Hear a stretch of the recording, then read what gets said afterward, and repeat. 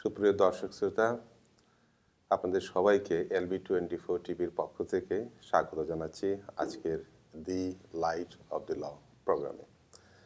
আশা করি আপনারা যে যেখানে আছেন ভালোই আছেন। আজকে এই অনুষ্ঠান আমি আপনাদেরকে বলব যেটা, সেটা হচ্ছে নতুন সংযোজন এলবি টোয়েন্টি ফোর টিভির। এই প্রোগ্রামে আমরা বিভিন্ন আইনগত বিষয়ে পরিপ্রেক্ষিতে আমরা আলোচনা করব। আপনারা এই অনুষ্ঠানে সরাসরি আমাদের সাথে যোগ দিতে পারবেন। আমাদের সাথে লাইভ কথাবার্তা বলতে পারবেন। আপনাদের অভিমত আমাদেরকে জানাতে পারবেন। আমরা চেষ্টা করব আজকের যে অতিথিদেরকে আমরা আমন্ত্রণ জানিয়েছি তাদেরকে সেই সকল প্রশ্ন উপস্থাপন করব। তারা আপনাদের উত্তর দেবেন। চলুন, আমরা দেরি না করে আজকের যে তিনজন অতিথিকে আমরা আমন্ত্রণ জানিয়েছি, তাদেরকে পরিচয় করিয়ে দেই। আমার সর্বপ্রথম বাম দিকে যিনি বসা আছেন, ওনাকে পরিচয় না করিয়ে দিলেও আপনারা চিনতে কোনো অসুবিধা হবে না। ব্যারিস্টার আতাউর রহমান অত্যন্ত কষ্ট করে আমাদের সাথে যোগ দিয়েছেন আজকে এই অনুষ্ঠানে। ব্যারিস্টার আতাউর রহমান জালালাবাদ ল অ্যাসোসিয়েটের স্বত্বাধিকারী এবং তিনি ব্রিটেনের কমিউনিটিতে অত্যন্ত পরিচিত এবং বিভিন্ন কমিউনিটি বিষয়ে বিভিন্নভাবে জড়িত। আপনাকে আমন্ত্রণ জানাচ্ছি এলবি টোয়েন্টি ফোর ধন্যবাদ আপনাদেরকেও আমাকে আমন্ত্রণ জানানোর জন্য। এরপরে আমাদের সাথে যোগ দিয়েছেন লিবার্টি ল সলিসিটারের প্রিন্সিপাল জনাব সলিসিটার সহুল আহমদ। সহুল আহমদ আপনাকে ধন্যবাদ এবং আরও স্বাগত জানাচ্ছি আজকের এই অনুষ্ঠান অত্যন্ত কষ্ট করে আমাদের সাথে যোগ দেওয়ার জন্য। আপনাকে এবং এলবি টোয়েন্টি ফোর টিভিকে আমার অসংখ্য ধন্যবাদ আমাকে আমন্ত্রণ জানানোর জন্য। সর্বশেষে যাকে পরিচয় করে দিচ্ছি তাকেও আপনারা সবাই ভালো করেছিলেন বিভিন্নভাবে বিলেতের কমিউনিটিতে অত্যন্তভাবে সুপরিচিত এবং প্রতিষ্ঠিত। ক্যাসি সলিসিটারের আহ, স্বত্বাধিকারী জনাব আবুল কালাম চৌধুরী ব্যারিস্টার আবুল কালাম চৌধুরী আপনাকে স্বাগত জানাচ্ছি আমাদের ধন্যবাদ কালাম ভাই এই ব্যতিক্রম ধর্মী এই প্রোগ্রাম প্রোগ্রামের জন্য। প্রথমেই এলবি টোয়েন্টি ফোরের পক্ষ থেকে এলবি টোয়েন্টি ফোরকে আমার ব্যক্তিগত পক্ষ থেকে ধন্যবাদ এবং সেই সাথে সঞ্চালক হিসাবে আমার মনে হয় আপনি যে এই উদ্যোগটা নিয়েছেন সেজন্য আমার ব্যক্তিগত পক্ষ- পক্ষ থেকে আরও ধন্যবাদ। ধন্যবাদ আপনাকে। দর্শক শ্রোতা আমরা পরিচয় করলাম অতিথিদের জন্য আজকে আপনাদের যে টপিকটা আলোচনা করব, সেটা অত্যন্ত স্পর্শকাতর টপিক, যেটা নিয়ে ইতিমধ্যে দেশে, বিদেশে সব জায়গায় আলোচনার ঝড় বইছে। আমরা আজকে চেষ্টা করব আজকের এই স্বনামধন্য ব্যক্তিদের নিয়ে একটা নিরপেক্ষ মতামতের ভিত্তিতে আসলে সিটিজেনশিপ অ্যাক্ট বাংলাদেশে কি হতে যাচ্ছে, অর্থাৎ এই আইনটার ভিতরে কি এটা প্রকৃতপক্ষে প্রবাসী বাঙালিদের যারা দেশে, বিদেশে বসবাস করছেন, এটা শুধু প্রবাসীদের জন্য নয়, দেশে যারা অবস্থান করছেন, তাদের জন্য, বিদেশে যারা অবস্থান করছেন, সবার জন্য যে আইনটি পাশ করা দরকার বা হতে যাচ্ছে, সেটা হচ্ছে বাংলাদেশ সিটিজেনশিপ অ্যাক্ট। তো এইটার উপরে আজকে আমরা বিভিন্নভাবে আলোচনা করব। তো আশা করি আপনারা যদি এই সিটিজেনশিপ বিষয়ে আপনাদের একজন প্রবাসী হিসাবে আপনার যদি কোনো প্রশ্ন থাকে বা আপনি যদি প্রশ্ন করতে চান, তাহলে সেটা করতে পারবেন। তো আমরা সময় তো আছেই, আপনারা থাকবেন আমাদের সাথে, আমরা আলোচনায় চলে যাচ্ছি একটু পরেই।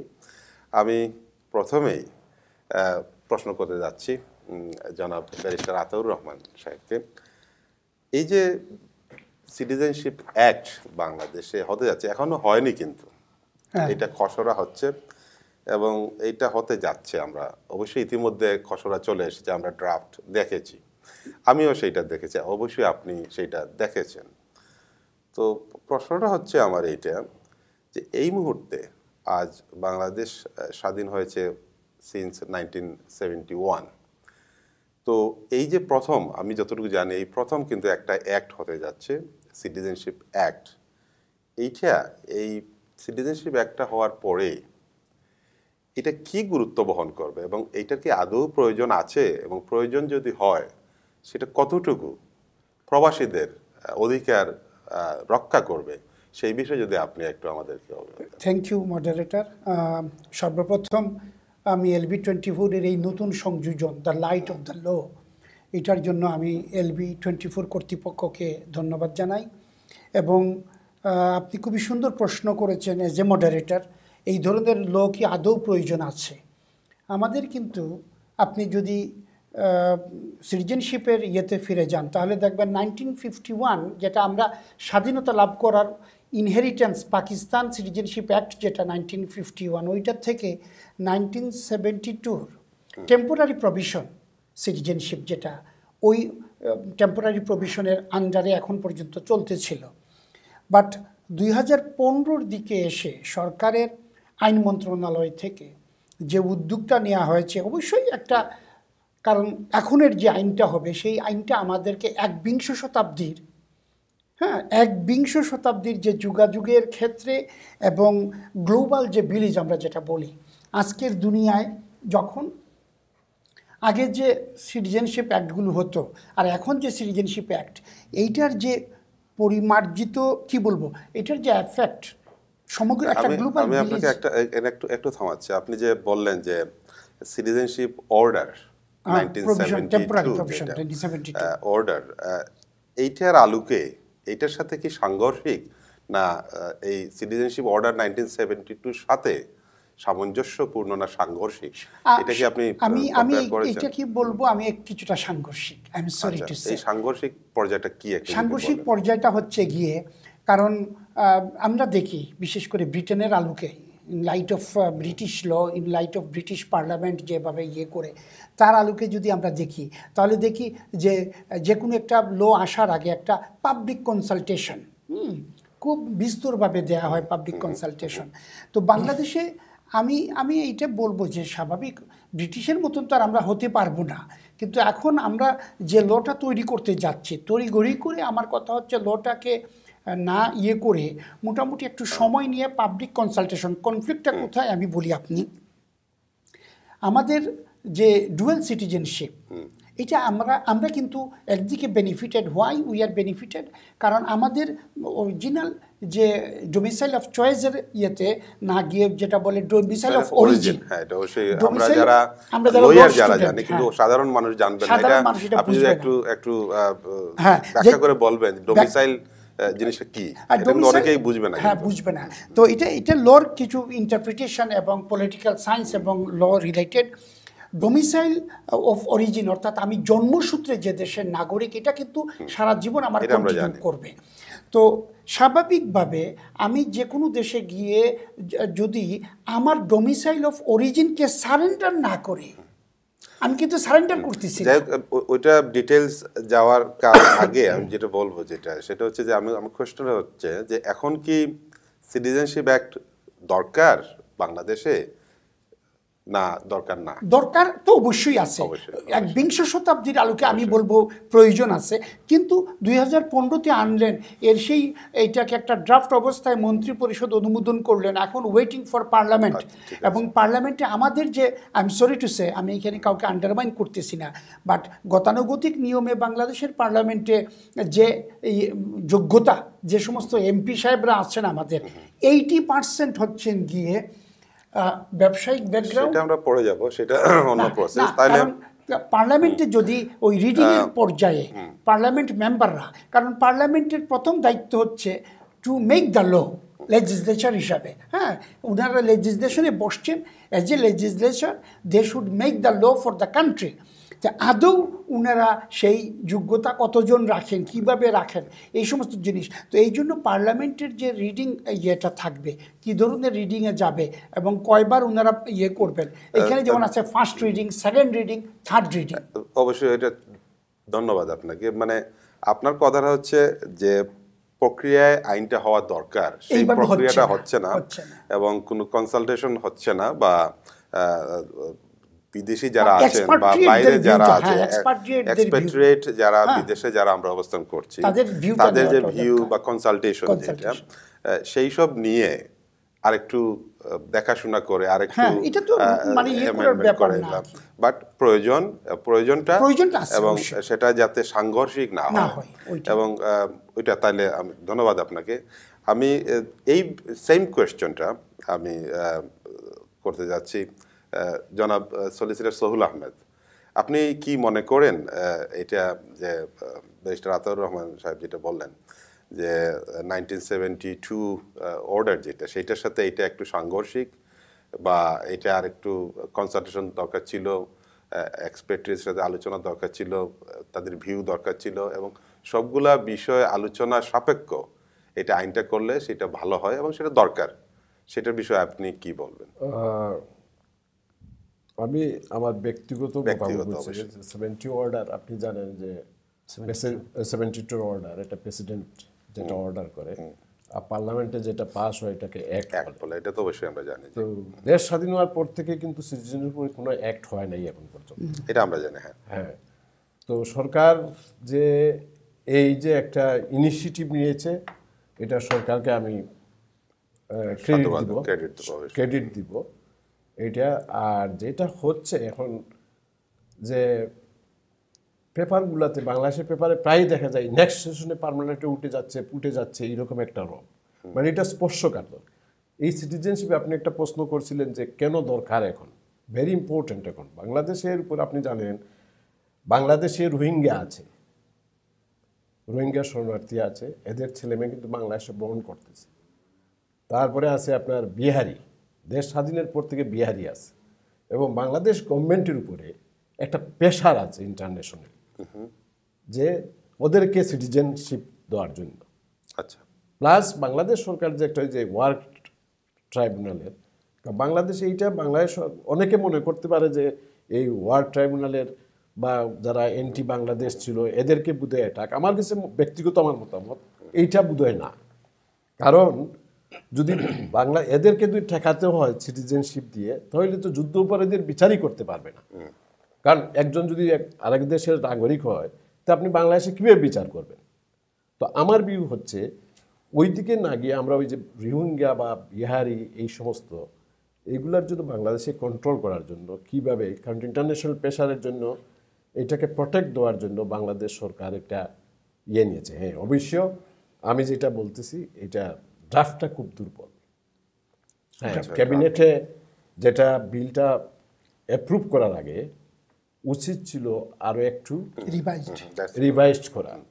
এটা আমি সরকারের আমি সরকারের যে আমলাতান্ত্রিক জোটের বা আমলা যারা আছে যারা বিলটা ক্যাবিনেটে পাঠিয়েছে তাদেরকে দোষ দেবো। আমি সরকারকে আপনার কথাটা হচ্ছে যে আরেকটু কনসালটেশন দরকার ছিল দরকার এবং হ্যাঁ। যেহেতু এইটা বেশিরভাগ ইম্প্যাক্টটা হচ্ছে বাইরে যারা বসবাস করছে বসবাস যারা করে, হ্যাঁ, যারা আমার আমরা বিদেশে যারা বসবাস করি ইউরোপ আমেরিকা বা এই সারা বিশ্ব জুড়ে সবার ক্ষেত্রেই তো একই হ্যাঁ একই তো- তাহলে তাহলে সরকারের উচিত ছিল যে একটু কনসালটেশন করা বাইরে যারা বিভিন্ন দূতাবাসের মাধ্যমে বাইরের যে কমিউনিটিতে যারা অবস্থান করছে কমিউনিটি লিডার যারা তাদের সাথে একটু বসে কনসালটেশন করে কীরকম করা যায়? সেই সেই আপনি এইরকমই চিন্তা ভাবনা এরকম বলতে চিন্তা আপনার থ্যাংক ইউ তাহলে আপনাকে ধন্যবাদ।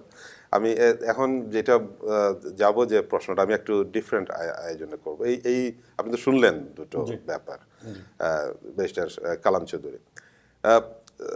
সলিসিটার সোহল আহমেদ বলেছেন যে রোহিঙ্গা এবং বিহারি যেটা আমরা অনেকেই জানি যে মোহাম্মদপুর ঢাকার মোহাম্মদপুরে অনেক বিরাট একটা একটা জনগোষ্ঠী জেনেভা সেটা জেনেভা কনভেনশনের আন্ডারে এখনও কিন্তু তারা বাংলাদেশের নাগরিকত্ব এখনও কিন্তু তারা পায়নি। আমি নিজেও সেটা দেখেছি আমি নিজের চোখে দেখেছি তাদের যে লাইফস্টাইল এটা অবস্থা যেটা একদম মানে খুবই খুবই করুণ অবস্থা তারা। তারা ওই যে ঝুপড়ির মতো ইয়ে করে বসবাস করছে।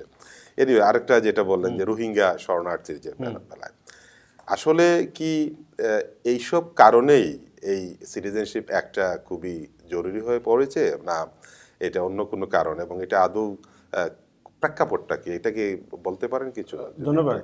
আসলে এটা অত্যন্ত গুরুত্বপূর্ণ একটা প্রশ্ন। যে অদৌ এই আইনের প্রয়োজনীয়তা আছে কিনা? আপনি যেটা শুরু করেছিলেন আপনি জানেন যে বাংলাদেশ স্বাধীন হয়েছে নাইনটিন সেভেন্টি ওয়ানে এবং বঙ্গবন্ধু জাতির জনক বঙ্গবন্ধু সরকার নাইনটিন সেভেন্টি টু যেটা কিনা ইমপ্লিমেন্ট হয়েছিল নাইনটিন সেভেন্টি থ্রিতে এবং এটা কিন্তু কোনো অ্যাক্ট না এটা একটা প্রেসিডেন্সিয়াল অর্ডার এবং ইটস অ্যান অর্ডিন্যান্স এবং বিশ্বের একটা রাষ্ট্রের জন্য প্রথমে দরকার একটা ভূখণ্ড এবং সংবিধানের আগে দরকার হলো নাগরিক। যদিও নাগরিকের ডেফিনেশন সংবিধান দেয় কিন্তু নাগরিক না হলে তো আপনি সংবিধান দিয়ে কি করবেন? আপনি মানে যেটা সাধারণ মানুষের কাছে যেটা হলো অবিশ্বাস্য হলেও সত্য যে বাংলাদেশের স্বাধীন বাংলাদেশে কোনো নাগরিকের কোনো ডেফিনেশন নাই। সঠিক কনসুলেটেড কোনো ভার্সন অফ সিটিজেনশিপের কোনো অ্যাক্ট ছিল না। স্বাধীন বাংলাদেশ। এটা কারেক্ট হ্যাঁ। এবং আপনি যদি দেখেন নাইনটিন সেভেন্টি টুর যে প্রভিশন যেটা অডিয়েন্স প্রেসিডেন্সিয়াল অর্ডিন্যান্স যেটা ছিল এবং অর্ডিন্যান্স না একটা order presidential order order. Ordinance এবং না একটা This order order itself suggested it is a temporary এবং এই টেম্পোরারি প্রভিশনের মধ্যে অনেকগুলো বিষয় আছে। বাট টেম্পোরারি প্রভিশন হলেও কিন্তু সেটা ল সেটা ল সেটা কিন্তু এই এখন পর্যন্ত কিন্তু হ্যাঁ. এটা আছে। এবং এইটার আন্ডারে যারা সিটিজেন বলে গণ্য হবেন তারা কিন্তু সিটিজেন আপনি কিন্তু সেটাকে অস্বীকার করতে পারবেন। আমি সেটা এই বলছি পর্যন্ত কিন্তু সেটা আছে। এই টেম্পোরারি প্রভিশনের অনেকগুলো সীমাবদ্ধতা আছে। আমি আসছি পরে। এটা পড়ে যাব আমরা। এবং আমি টেম্পোরারি প্রভিশনের জানতে চাইব টেম্পোরারি প্রভিশনের মধ্যে আছে যেমন যুক্তরাজ্যে বসবাসকারীরা বাংলাদেশের নাগরিকত্বের সুবিধা পাবেন। কিন্তু এখন অস্ট্রেলিয়ার সিটিজেনদের কি হবে? নিউজিল্যান্ডের সিটিজেনদের কি হবে। কানাডার সিটিজেনদের কি হবে? ইউরোপের সিটিজেনদের কি হবে? এখন মিডল ইস্টের সিটিজেনদের কি হবে? সো এই যে নাগরিকত্ব act two thousand fifteen propose যেটা এইখানে কিন্তু টোটাল ডুয়েল সিটিজেনশিপের যে সীমানা ছিল লিমিটেশন ছিল এই বাউন্ডারিটা কিন্তু এখন আর নাই। অর্থাৎ any one accept there are south countries এই নাগরিকত্ব যেমন যেটা বাংলাদেশ সরকার অনুমোদন করে না এরকম দু চারটা দেশ আছে। এই দেশগুলো পরে পৃথিবীর যে কোনো দেশের যে কেউ আ- ইয়েতে আসতে পারে। একটা প্রক্রিয়ার মাধ্যমে হ্যাঁ, সেটা আমি বিএনপি সরকারের আমলে দুই হাজার পাঁচ সালে জাস্টিস মোস্তফা কামাল সাহেবের আন্ডারে একটা ল কমিশন নাগরিকত্ব এই বিলটা করার জন্য একটা ল কমিশন গঠন করা হয়েছিল। সৌভাগ্যপ্রসূত আমার সেই নাগরিক প্রপোজ যে সিটিজেনশিপ অ্যাক্ট যেটা ছিল দুই হাজার পাঁচ সালের এটাও আমি পড়েছি। আমি ইচ্ছা করলে আপনি যদি প্রশ্ন করেন সেইখানে আমি পরবর্তীতে আসব। সুতরাং এইটা যে কত ভয়ানক একটা জিনিস যে আমাদের দেশে ছিল যে কোনো নাগরিকত্ব আইন নাই এবং এই আইনের সীমাবদ্ধতা। সুতরাং যে কোনোভাবে যদি যে কোনো বিবেচনায় যদি আপনি আপনি যদি বিবেচনা করেন এটা ছিল সরকারের যুগান্তকারী একটা পদক্ষেপ যে এই নাগরিকত্ব বিলটা নিয়ে আসা বা নিয়ে যাওয়া। আর একটা বিষয় হলো যে এই বিলটা কিন্তু এখনও কোনো কনসলিডেটেড ভার্সন গভর্নমেন্টের পক্ষ থেকে এখনও কিন্তু প্রকাশ করা হয়নি। মন্ত্রিসভা অনুমোদন দেওয়ার পরে আপনার আইন মন্ত্রণালয়ের সচিব মহোদয় প্রকাশ্যে বলেছেন যে এটা আরও কনসালটেশন হওয়ার পরে তারপরে ওইটা পার্লামেন্টে ওই- ওইটা ঠিক আছে। আমার আমাদের কথাটা হচ্ছে যে ব্যারিস্টার আতাউর রহমান বা সোহেল আহমেদ যেটা বললেন যে এটা দরকার দরকার অবশ্যই। তাহলে আমরা অবশ্যই পরে আসছি। বিষয়ে আমরা কিছু আহ, শ্রোতা আমাদের সাথে জয়েন করেছেন। আমি তো অবশ্যই বলব যেটা শায়েক আহমেদ জয়েন করেছেন আমার সাথে। ব্যারিস্টার নাজির আহমেদ আমাদের সাথে জয়েন করেছেন। এখানে কামাল উদ্দিন সাহেব আর জুমিয়া ওনারা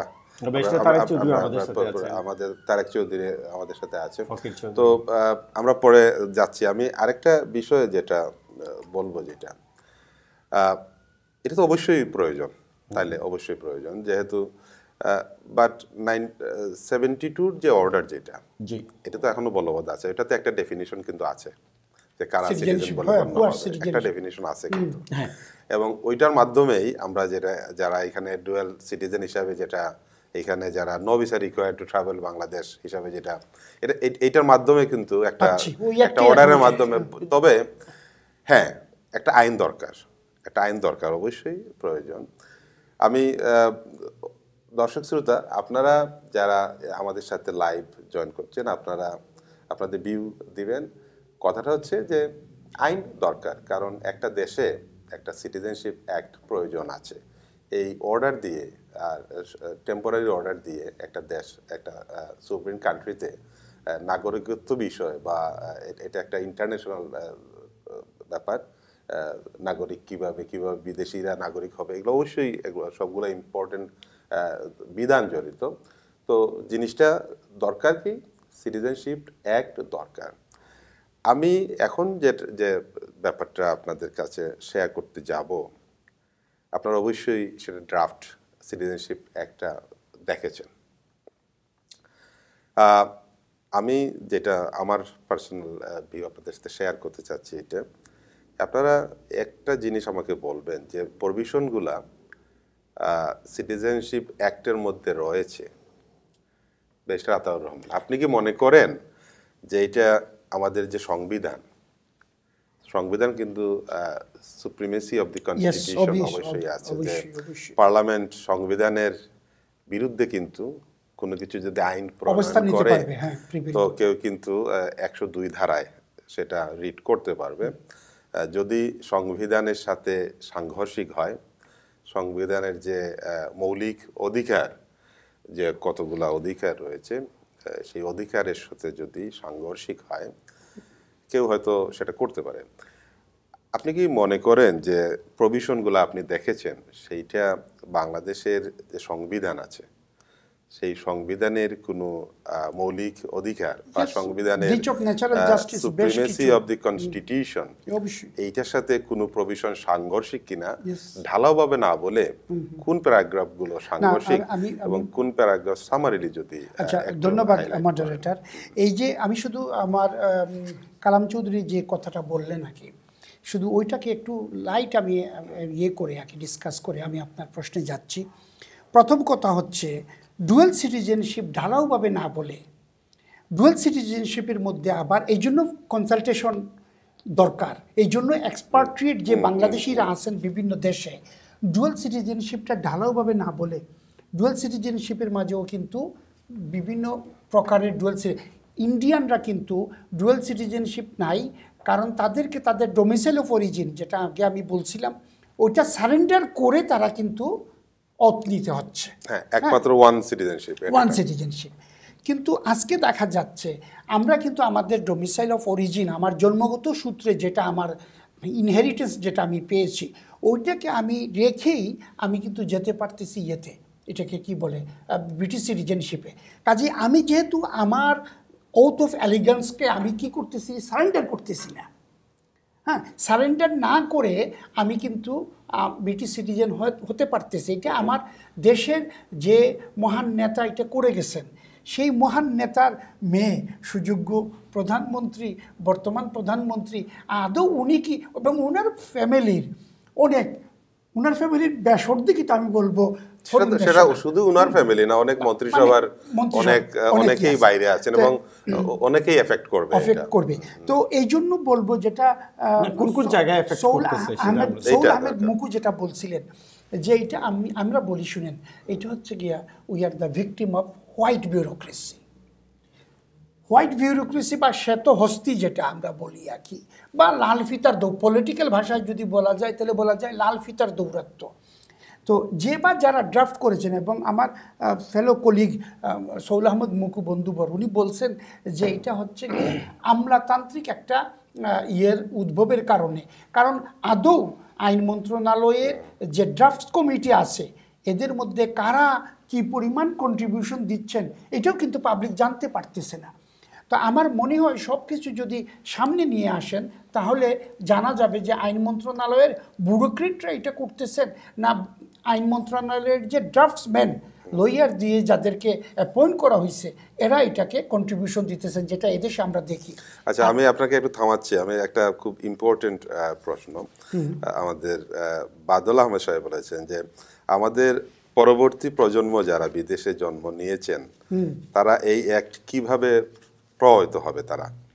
মানে পরবর্তী প্রজন্ম যারা খুব খুব চমৎকার প্রশ্ন করে আপনার পরবর্তী প্রজন্ম বলতে কিন্তু। ফার্স্ট জেনারে সেকেন্ড জেনারেশন কিন্তু অটোমেটিক পেয়ে যাচ্ছে।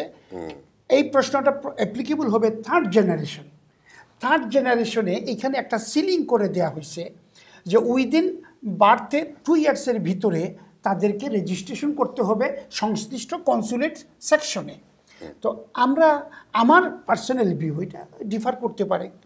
কালাম চৌধুরী বা আমার বন্ধুবর মুকু, সৌল আহমেদ মুকু এটাতে ডিফার করতে পারে।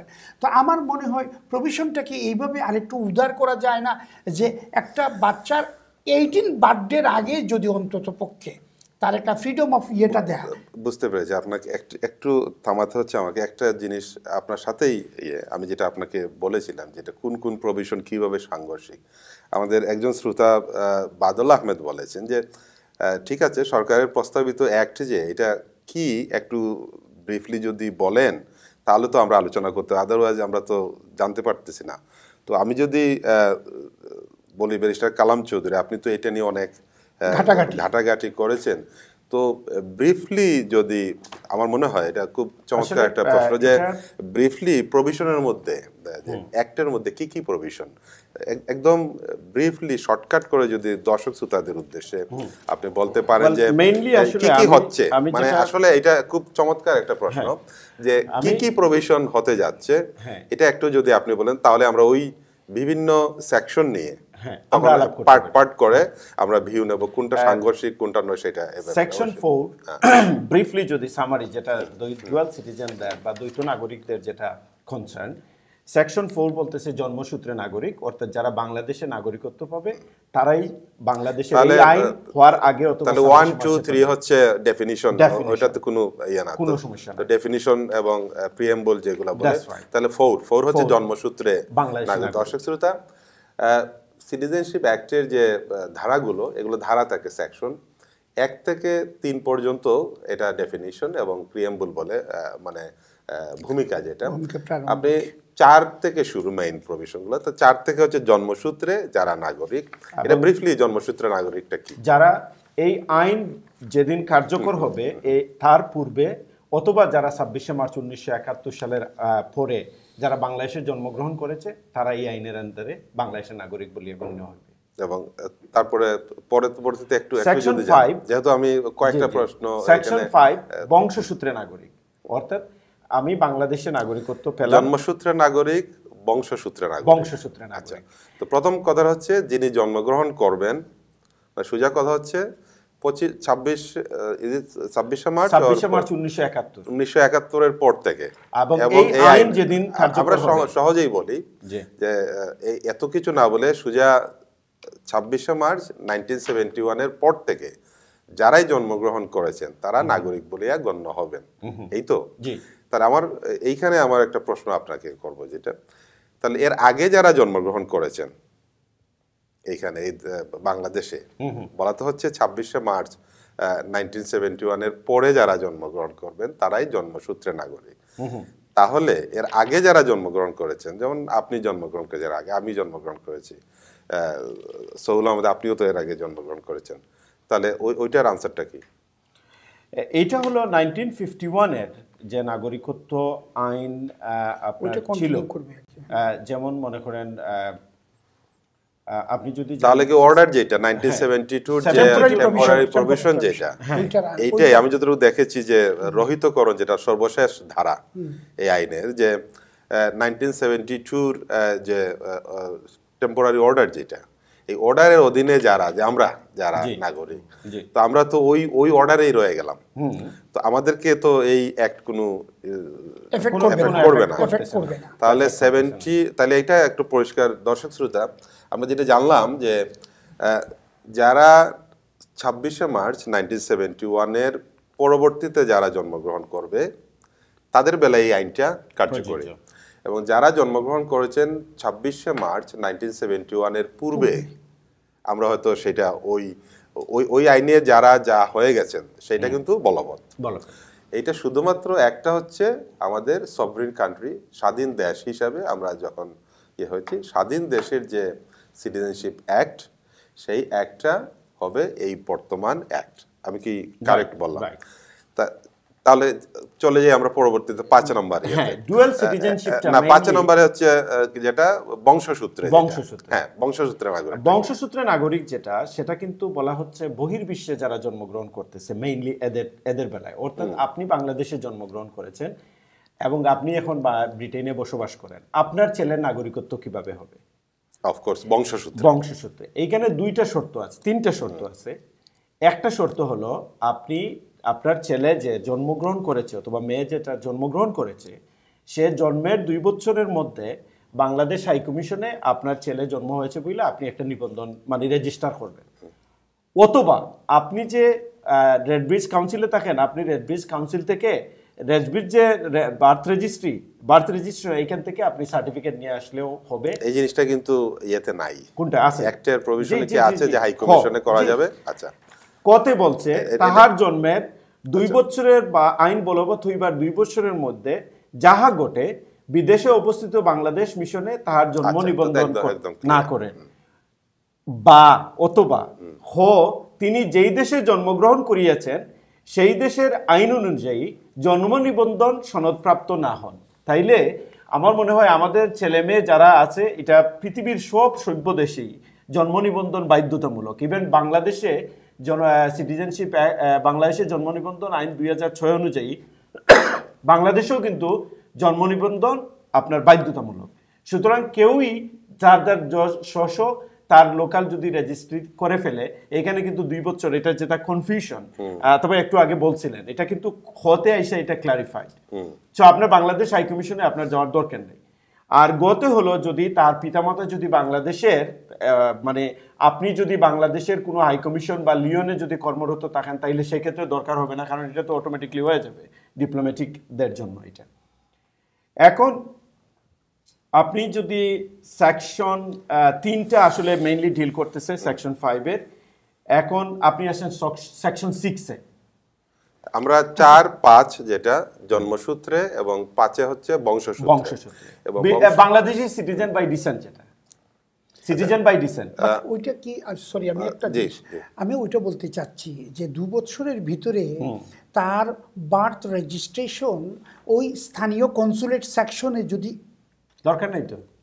আপনি বাংলাদেশ হাই কমিশনে যাওয়ার দরকার নাই। কোতে আপনি যদি যে যে দেশে বসবাস করেন সেই দেশের রেজিস্টার অফিসে গেলেই তো আপনার হয়ে যাচ্ছে। না এখানে একটা এই একটা বিষয়টা প্রশ্ন আসলে আমি- আমি- আমি confusion আমি ছিল। একটু তিনি যেই দেশে আমি একটু ইন্টারফেয়ার করি।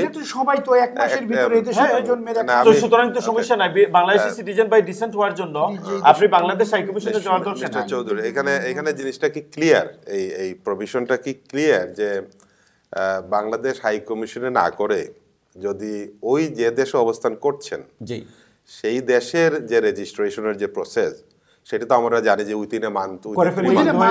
এবং ম্যাক্সিমাম থ্রি মান্থসের মধ্যে করতে হয়। আমাদের কমিউনিটিতে কিন্তু এই বিষয়টা নিয়ে অনেকগুলো ডিবেট হয়েছে এবং এটা আমি- রং কনসেপশন আমি আসছি আপনার কাছে। আমি যেহেতু জিনিসটা লিগ্যাল ম্যাটার আমাদের দর্শক যারা এই অনুষ্ঠানটা দেখবেন যারা খুব ভালো একজন বলেছেন যে আমরা তো জানি না।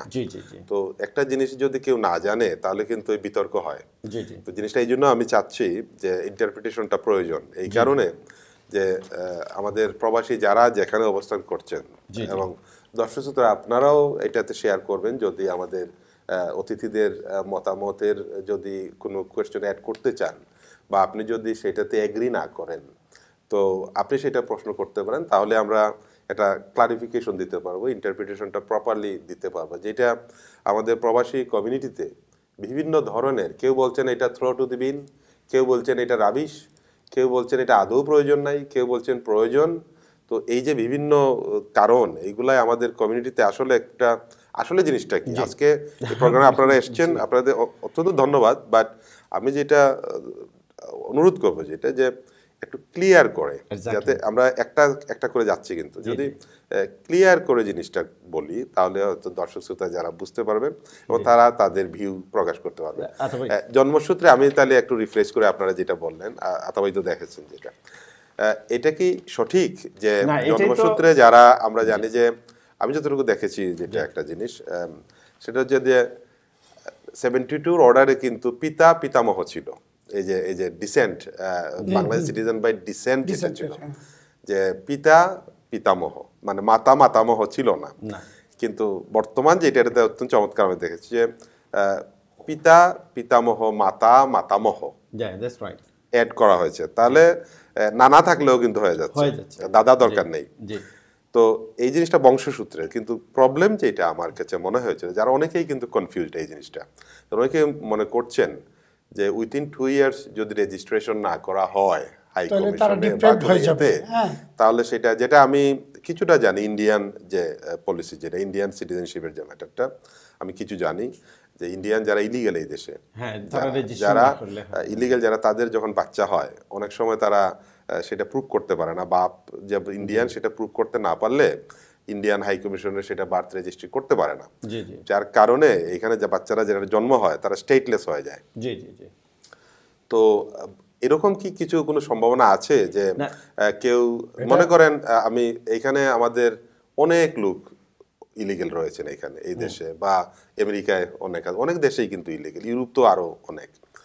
তখন প্রশ্নটা হচ্ছে আমার আমার সামারি প্রশ্নটা হচ্ছে যে যদি দুই বছরের ভিতরে যদি সে রেজিস্ট্রি না করতে পারে আর ইলিগেল হওয়ার পরে কিন্তু যে কোনো দেশে এই প্রপার রেজিস্ট্রেশন সম্ভব নয় সম্ভব। নয়, ওই আইডি প্রয়োজন পাসপোর্ট প্রয়োজন। তো আমার প্রশ্নটা হচ্ছে আপনি তো বললেন যে যে সিটিজেনশিপ অ্যাক্টের আন্ডারে আপনি যে কোনো রেজিস্ট্রি অফিসে গিয়ে সেটা রেজিস্ট্রি করতে পারবেন অথবা বাংলাদেশ দূতাবাসে করতে পারেন। মনে করুন কেউ দুই বছরের মধ্যে করতে পারেনি। আর দেশের এই আইনের কারণে তার পাসপোর্ট নাই তার আইডেন্টিটি নাই। সত্যি তার বাচ্চাকে ওই দেশের রেজিস্ট্রি অফিসে রেজিস্ট্রি করতে পারে নাই। তাহলে কি আমরা ধরে নেব সে সে স্টেটলেস হয়ে যাবে? না আমি যেটা বলব যে আপনার যারা এই দেশে লিগালি রিসাইডিং তাদের কিন্তু তাদের তো কোনো সমস্যা নেই তাদের কোনো সমস্যা তারা কিন্তু বাংলাদেশ হাই কমিশনে যাবেও না। আর বিঙ্গে বাংলাদেশি আপনার যদি বাচ্চা হয় you have absolute right illegal মানুষও কিন্তু বাংলাদেশ হাই কমিশনে গিয়ে পাসপোর্টের অ্যাপ্লিকেশন করতে পারে।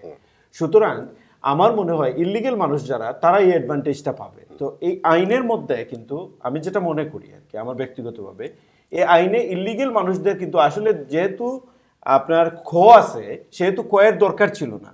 বাট কোটা কিন্তু এক্সট্রা অর্ডিনারি একটা প্রোটেকশনের জন্য। যারা লোকাল রেজিস্ট্রেশনে যারা করতে পারবে না একদম যাদের যে ক্লাস অফ পিপুলের কথা আপনি যারা বললেন তারা কিন্তু সেটা পারবে। তবে এইখানে যেটা হতে পারে আপনার এই যে যে সেট অফ পিপল করতে পারবে না তাদের জন্য কিন্তু প্রোটেকশন আছে কালাম ভাই। আপনি যদি সেকশন সিক্সে যান। না এই এই এই মিস্টার কালাম চৌধুরী। কালাম চৌধুরী বাদল আহমেদ একটা কোয়েশ্চেন করেছেন। আচ্ছা যে কালাম সাহেবের সাথে একমত নই কারণ এমবেসিতে নিবন্ধন না করলে দেশের রেজিস্ট্রার আমার ভবিষ্যৎ বংশধরের নাম উঠবে কি করে? আমার মনে হয় কোনো না কোনোভাবে বাংলাদেশ কর্তৃপক্ষকে জানাতে হবে। এই এটার উত্তরে কি বলবেন? এই মুহূর্তে আমরা যারা ডুয়াল সিটিজেনশিপ আমার ছেলের ন ভিসা রিকোয়ার্ড সিল আনি আমি কিন্তু শুধুমাত্র আমার পাসপোর্ট আর বাচ্চার বার্থ সার্টিফিকেট নিয়ে জমা দিলেই তারা দিয়ে দিচ্ছে। আমি জন্মসূত্রে বাংলাদেশি ইদার আমার বার্থ সার্টিফিকেট বাংলাদেশেরটা আর এই দেশের বার্থ সার্টিফিকেটটা সুতরাং এটা কিন্তু এস্টাবলিশ ওয়েল এস্টাবলিশড আইন। বাংলাদেশ হাই কমিশনের এই মুহূর্তে ওয়েল এস্টাবলিশড আইন তারা কিন্তু এটা অ্যাকসেপ্ট করতেছে। So it is in practice হ্যাঁ কেউ না আমার প্রশ্নটা হচ্ছে কেউ করতে পারেনি দুই বছরের মধ্যে। মনে করেন কেউ কোনো না কোনো কারণে আমার বোধ আমরা এত- সলিসিটার সহুল আহমেদ এতটুকুতে না গিয়ে জি। আমরা বলব বাংলাদেশ সরকারকে অনুরোধ করব যেহেতু পার্লামেন্টে যায় নাই। কারণ আমাদের বাইরে থেকে প্রবাসীরা আলোচনা করার অর্থ হইল বাংলাদেশ সরকারকে ইনফর্ম করা। হ্যাঁ আমার মনে হয় এই প্রভিশনটা আরও একটু রিল্যাক্স করা দরকার। অবশ্যই সলিজা আহমেদ আপনার কাছে আসব আমরা পরে আমাদেরকে ছোট্ট একটা বিরতি নিতে হচ্ছে প্রোগ্রামে বিরতির পরে আবারও আমরা আসব হ্যাঁ, আমি একটা এক্সাম্পল হ্যাঁ, অবশ্যই। দর্শক শ্রোতা আপনাদেরকে অত্যন্ত ধন্যবাদ আমাদের সাথে থাকার জন্য এতক্ষণ। আমরা অল্প কিছুক্ষণের জন্য ব্রেকে যাচ্ছি। ব্রেকের পরে আবারও ফিরে এসে আবার সেই জমজমাট আলোচনা শুরু হবে। ততক্ষণ পর্যন্ত আমাদের সাথেই থাকবেন আশা করি। ধন্যবাদ সবাইকে।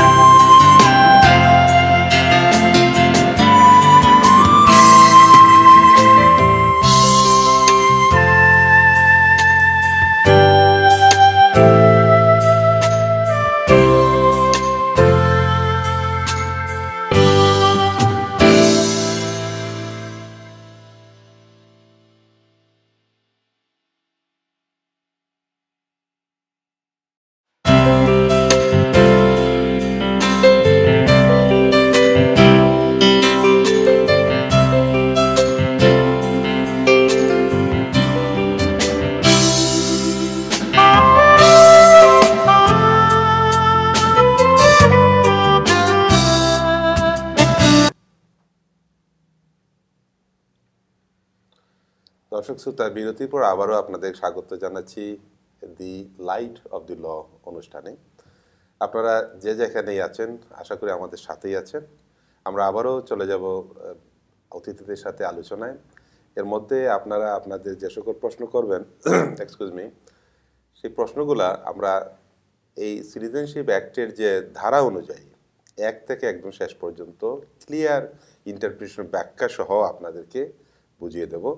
এবং সেই পর্যন্ত আমাদের সাথে থাকুন। আমরা কন্টিনিউ করতে যাচ্ছি প্রোগ্রামটায় আমরা এর আগে এক- দর্শকের যারা আমাদের সাথে যোগ দিয়েছেন আমি কিছু দর্শক শ্রোতার নাম বলি ব্যারিস্টার মুজিবুর রহমান আমাদের সাথে জয়েন করেছেন ব্যারিস্টার তারেক চৌধুরী মোহাম্মদ লিয়াকত আলী ব্যারিস্টার শাহ মির্জাওয়ার রহমান আমাদের সাথে জয়েন করেছেন এবং আরও অনেকেই আমাদের সাথে যুক্ত হয়েছেন।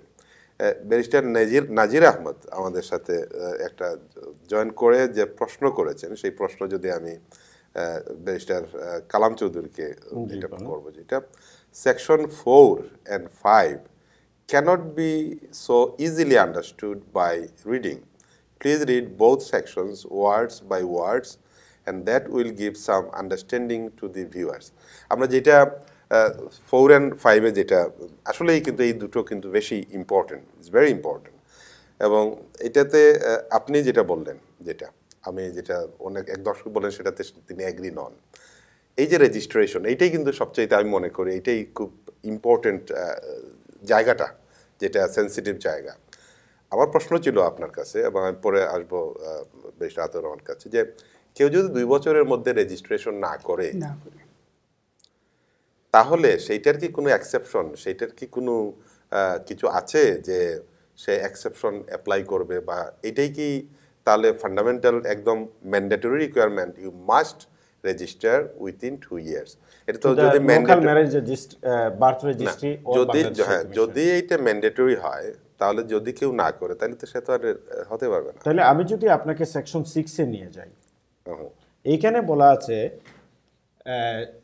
সিটিজেনশিপ বাই ন্যাচারালাইজেশন ওইটাতে আমরা পড়ে যাব। না না না এখানে কিন্তু এই ন্যাচারালাইজেশন ন্যাচারালাইজেশনের সিটিজেনশিপ বাই ন্যাচারালাইজেশন এটা ডিফারেন্ট জিনিস সেটা আমি পড়ে যাচ্ছি।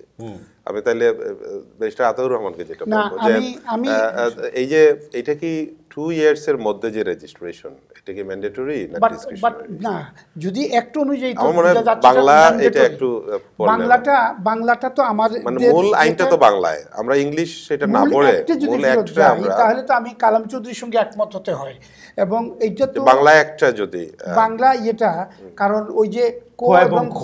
এটা একটু তো যদি খতে কিন্তু কতে বলছে আপনি আতাবা অথবা একটু পরে যদি এই জায়গাটাতেই কিন্তু সবার গ্রিভান্স কিন্তু কনফিউশন এবং গ্রিভান্স বংশসূত্র- ব্যারিস্টার নজির আহমদ হ্যাঁ, যেটা বললেন যে ফোর এন্ড ফাইভ এর মধ্যে যে জিনিস বাংলাদেশি সিটিজেন বাই ডিসেন্ট আমরা যেটা মূল ইয়ে যেটা মানে ড্রাফট কপিতে বাংলায় যেটা লেখা কো হচ্ছে কোনো ব্যক্তি বাংলাদেশের বাইরে জন্মগ্রহণ করিলেও বাংলাদেশের নাগরিক হইবেন যদি তাহার পিতা বা মাতা এই আইন কার্যকর হইবার অব্যাহতি পূর্বে বাংলাদেশের নাগরিক হইয়া থাকেন। উপধারা দুই উপধারা দুই উপধারার কয়ের বিধান সত্ত্বেও কোনো ব্যক্তি বংশসূত্রে বাংলাদেশী নাগরিক হইবেন না যদি হইবেন না যদি ক তাহার জন্মের দুই বৎসর বা এই আইন বলবৎ হইবার দুই বৎসরের মধ্যে হ্যাঁ যাহা পরে ঘটে বিদেশে অবস্থিত বাংলাদেশ মিশনে তাহার জন্ম নিধন না করেন সেমিকলন হ্যাঁ। অর। অথবা। অথবা? হ্যাঁ খ তিনি যেই দেশে জন্মগ্রহণ করিয়াছেন সেই দেশের আইন অনুযায়ী জন্ম নিবন্ধন সনদ প্রাপ্ত না হন সেমিকলন বা। তে মডার্ন ওয়ার্ল্ডে তো সবাই কন্টেম্পোরারি বার্থ রেজিস্ট্রেশন করতেই হচ্ছে। তাহলে তো সেটা হচ্ছে। বাংলাদেশের মতো তাহলে তাহলে অনেক সময় অনেক ইংলিশ ট্রান্সলেশন এগুলো অনেক সময় কনফিউজড আসলে। আমার মনে হয় তাহলে আমার মনে হয় বাট আমি এটা বলি থ্যাংক ইউ না যারা বলেছেন এতদিন তারা কিন্তু ক পর্যন্ত সীমাবদ্ধ ছিলেন খতে যান নাই। না বাট ওই যে তুমি যেটা সরি আমি বলে ফেললাম। কোনো অসুবিধা নাই, হ্যাঁ, সবাই জানে আপনি আমার বড় আচ্ছা, ভাই, ওকে আমি যেটা মানে ইয়ে করতেছি যেমন কালাম চৌধুরীর কাছ থেকে যেটা পেলাম আর কি স্বাভাবিক প্রতিটা দেশের কিছু নাগরিক অবাস্টিয়ার হয়ে যান লিগেলি অবাস্টিয়ার হয়ে গেলে তাদের কোনো লিগ্যাল স্ট্যাটাস আপনার সাথে একটা অ্যাড করি প্র্যাকটিক্যাল ঘটনা। একজন মহিলা তাদের মুসলমানে বিয়ে হয়েছে। ছেলের সাথে কিন্তু ইংলিশ ম্যারেজ হয় নাই। এখন ওই মহিলা বাচ্চা নিয়ে হাজব্যান্ড কোথায় সে জানে না। বাংলাদেশ হাই কমিশনের লন্ডনে গেছে কইছে তোমাদের ম্যারেজ সার্টিফিকেট নিয়ে আসো। হ্যাঁ। হ্যাঁ। তো ওরা ম্যারেজ সার্টিফিকেট ইসলামিক ম্যারেজ করছে তো এমনি হুজুর ডাকিয়া কিন্তু ওই সার্টিফিকেট টার্টিফিকেট কিছুই নাই। এখন বাচ্চা হয়েছে বাচ্চা এখন পাসপোর্টও দেয় না রেজিস্ট্রিও করে না। এটা একটা না অনেক ঘটনা। আমরা- আমি- অবস্থা। আমি সলিসিটার সোহেল আহমেদ চমৎকার একটা প্রশ্ন হ্যাঁ, আমি আমরা যেহেতু সবাই ইমিগ্রেশন প্র্যাকটিশনার আমরা কিন্তু সবসময় এটা ফেস করি যেমন আহ, এটা এই এই জায়গাটাতেই কিন্তু তাইলে আমরা গ্রে এরিয়া বলব যেটা। একটু গ্রে আছে। হ্যাঁ। এটা এক্সেপশন থাকাটা দরকার ছিল। ছিল। যে যে। ব্যতিক্রম থাকা দরকার ছিল। কোনো কারণে যদি না করেন পর্যাপ্ত কারণ দেখানোর পরে তাকে যেত। এরকম হ্যাঁ, এরকম আহ, এরকম কোনো একটা দরকার আমি আপনার ছিল সাথে একমত। এই জন্য যেমন বাংলাদেশ হ্যাঁ। থেকে যারা ব্রিটিশ সিটিজেন বাই ডিসেন্ট বা রাইট অফ অ্যাপ্লিকেশন করেন তারা কিন্তু দেখা যায় নাইনটিন সিক্সটিতে তারা জন্ম হয়েছে অথবা ধরেন নাইনটিন সেভেন্টি ওয়ানের পরে ধরেন পঁচাত্তরে জন্ম হয়েছে বাট আমরা বার্থ সার্টিফিকেট দেই আপনার টু থাউজেন্ড ফিফটিনের কোর্ট বলে আমার ক্রেডিবল না। This certificate is not credible না। But they can not deny this so citizenship যখন আপনি অ্যাবসুলুট দিবেন সেই ক্ষেত্রে আপনি ডিনাইলের কোনো প্রভিশন আপনি রাখতে পারবেন না। বিকজ যেখানে আপনি বলবেন যে সে বাংলাদেশি সিটিজেন বাই ডিসেন্ট সে যদি তার বাবা হয় আর বিদেশে যদি জন্মগ্রহণ করে থাকে, তাইলে সে এই প্রমাণটাই তার যথেষ্ট। তাই সেক্ষেত্রে গভর্নমেন্টের আসলে আমি আপনাদের সাথে একমত। এইখানে গভর্নমেন্টের একটু ফ্লেক্সিবল থাকা হ্যাঁ. আমি জানি আমি স্বীকার করছি যে এখানে এক হাজার জন্য হয়তো একজন। তাহলে আমরা যেটা জানলাম আপনাদের তিনজনের সাথেই আলোচনা করে যেটা যে এই জায়গাতে ম্যান্ডেটরি প্রভিশন না করে একটু ফ্লেক্সিবল করা দরকার ছিল। এই কারণে যারা লিগে লফুলি ইন দি আউটসাইড তাদের তো অসুবিধা নেই। তারা তো লোকাল রেজিস্ট্রিতে উইথিন মান্থ তো উইথিন থ্রি মান্থ করতে পারছে। কিন্তু সময় আছে। সময় আছে এটা কিন্তু আমরা যারা প্রবাসে আছি যে আমি একটা এক্সাম্পল দিলাম। মেয়ে বাচ্চা আমি এগুলো প্র্যাকটিক্যাল এক্সাম্পল আসলে আসলে এরকম হতে পারে যারা ড্রাফটসম্যান যারা পার্লামেন্টারি ড্রাফটসম্যান যারা ড্রাফট করেন তারাও তো এই যে আপনি এক্সাম্পলটা দিলেন এই এই যে জিনিসগুলো হয়তো তাদের। নলেজে এই জিনিসগুলো হয়তো খেয়াল নাও হতে পারে। ওনারা হয়তো ওরকম চিন্তা করতে পারেন যে বাইরে যারা লিগেল ব্রিটিশ যারা আমেরিকান যারা তাদের বেলায় তো সমস্যা নেই। যেটা আমি দেখলাম যে ইংলিশ ভার্সন এবং বাংলাটা একটু একটু তফাত আছে হ্যাঁ, মনে হয়। তো আসলে কিন্তু বাংলাদেশে এখন অ্যাক্ট কিন্তু বাংলাতে হয়। তো আমরা যেটা দর্শক শ্রোতা যারা আপনারা আমাদের সাথে আছেন যারা এই অনুষ্ঠান দেখছেন যারা আপনারা কিন্তু যে কোনো কিছু দেখবেন না। আপনারা শুধুমাত্র বাংলা খসড়া যেটা বাংলা খসড়া যদি দেখেন বাংলা আপনাদের পড়তেও সুবিধা হবে। তখন আপনারা আপনাদের অপিনিয়ন দিতে পারেন। সেই অপিনিয়ন আমরা অবশ্যই আজকে আপনাদের সাথে শেয়ার করব এবং আজকের যে বিজ্ঞ যারা প্যানেলিস্ট আছেন তাদের সাথেও শেয়ার করব। আমি যেহেতু আমাদের দর্শক মেজরিটি দর্শকের কথাটা হচ্ছে যে আইনটা আসলে কি? সেইটা এক্সপ্লেইন করা দরকার। তো আমরা গেলাম ফাইভ আমরা দেখলাম যে একটু একটু আছে। আমরা যদি এর পড়ে যাই সিক্সে ধরেন সিক্সে যদি আমরা যাই প্রবাসীগণের বাট পাঁচের তিনটা একটু ডিসকাস করে ফেলি। পাঁচের তিনে আছে যদি কোনো ব্যক্তি উপধারা এক এন্ড দুইয়ের অধীনে অর্থাৎ আপনি বিদেশে ধরেন আহ, আপনি কালাম আতর রহমান সাহেব আপনি বিদেশে আছেন। আপনার ছেলে যদি জন্মগ্রহণ করে তাইলে সেক্ষেত্রে এই যে নিবন্ধনের লোকাল রেজিস্ট্রি হোক হাই কমিশনে হোক সে তো অটোমেটিকলি ক্লেম করতে পারবে। কিন্তু আপনি যদি বিদেশে অবস্থানরত থাকা অবস্থায় প্রমাণিত হয় আপনি বাংলাদেশের বিরুদ্ধে কোনো যুদ্ধ ঘোষণা করিয়েছিলেন অথবা যুদ্ধে লিপ্ত ছিলেন তাইলে আপনার ছেলে সিটিজেন বাই ডিসেন্ট সেটা ক্লেম করতে পারবে না। Not by birth only by citizen by descent এটাকে আপনি বলতে কি পার্সন না যে স্টেট না যে পিতা। আচ্ছা তাহলে আমি বলি আমরা সবাই কিন্তু লইয়ার. হ্যাঁ এবং আমরা এদেশের কোর্টে সবসময় এবং কমন লর যে not only Bangladesh whole common law commonwealth কান্ট্রিজে যেটা অ্যাপ্লিকেবল যে রেট্রোস্পেক্টিভ এফেক্টটা হয় না। তাহলে আপনি এইটা বলতে পারেন এই আইন কার্য ওই যে বললাম যে একটু আগে যেটা যে এই আইন কার্যকর হবার পর কথাটা ব্যাপারটা বুঝে নেন এই আইন কার্যকর হবার পর থেকে অর্থাৎ two thousand sixteen citizenship act হবার পর থেকে যদি কেউ বাংলাদেশ নামক রাষ্ট্রের বিরুদ্ধে কোনো যুদ্ধ করে অতীতে করে থাকলে ওইটাকে ধর- ধর্তব্য না কারণ এটা রেট্রোস্পেক্টিভ চলে যায়। আমি যেটা আমি যেটা মিন করেছি আপনারা মানে জিনিসটা বুঝতে পারতেছেন। যদি উদারনৈতিক যদি ওপেন হার্টে আপনি যান তাহলে ফাইভ থ্রিতে এই ধরনের ক্লজ আসতে হবে যে এই আইন কার্যকরের পর থেকে তুমি আতাউর রহমান এখানে কথাটা হচ্ছে বিদেশি শত্রু। বিদেশি শত্রুর সঙ্গে কোনো যোগসাজশ করলে এখানে আমি আমি যেটা দেখেছি যেটা যে বিদেশি শত্রুর একটা ডেফিনিশন কিন্তু আছে। হ্যাঁ ফরিন মানে আপনি যদি সেকশন থ্রি বা টুতে যান হ্যাঁ। আপনি একটা ডেফিনিশন আছে সংজ্ঞা আছে যে বিদেশি শত্রু বলতে কাকে বোঝায়। আপনি একটু বিদেশি শত্রু অর্থ বাংলাদেশের বিরুদ্ধে যু- যুদ্ধে লিপ্ত ছিল বা আছেন এমন কোন রাষ্ট্র? রাষ্ট্র ব্যক্তি না। যে? রাষ্ট্র এবং ব্যক্তি তফাৎ আছে কিন্তু। এখন কথাটা হচ্ছে কোনো ব্যক্তি যদি এগেনস্টে থাকে না সেক্ষেত্রে হচ্ছে না। সেক্ষেত্রে কি হচ্ছে? না কোন সেক্ষেত্রে তো সেকশন টু ডেফিনিশন তো সংজ্ঞাটা তো একদম ক্লিয়ার হ্যাঁ। তাহলে ওই সংজ্ঞাটা কি আপনি যেটা বললেন শত্রু রাষ্ট্রের কথা বলছে। রাষ্ট্রর কথা বলতেছে। বাংলাদেশের বিরুদ্ধে যদি কিন্তু রাষ্ট্র সংজ্ঞার সাথে কিন্তু এখানে একটু সাংঘর্ষিক আমার মনে হচ্ছে। এই এই- রাষ্ট্র না হয়ে এখানে এখানে পড়েন পড়েন পড়েন ইয়েটা পড়েন যেটা ব্যারিস্টার নজির আহমদ যেটা বলছেন যেটা যে section four is contradictory to section two seven ওই যে শত্রুর কথা যেটা।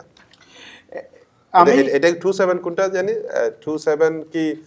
বিদেশি শত্রু হ্যাঁ, অর্থ এটা- এটা তাইলে তো, বাংলাদেশের ব্যারিস্টার বিরুদ্ধে নজির কথাটাই correct। যুদ্ধে লিপ্ত ছিল বা আছেন এমন কোন রাষ্ট্র রাষ্ট্র এরকম কোন ব্যক্তি না কিন্তু সেকশন ফাইভ থ্রি যেটা বলছে যে Person এর কথা বলছে। নাগরিক হইবার যোগ্য তার পিতা বা মাতা বিদেশি কোনো রাষ্ট্র যোগদান পূর্ব বিরুদ্ধে যুদ্ধ করিয়া করিয়া থাকেন বা বাংলাদেশ এমন কোনো বিরুদ্ধে কর্মকাণ্ড তাই তো পার্সনের কথা চলে আসতেছে এখানে আপনার কি মনে হয়? হ্যাঁ, একটু পড়বেন এই জিনিসটা।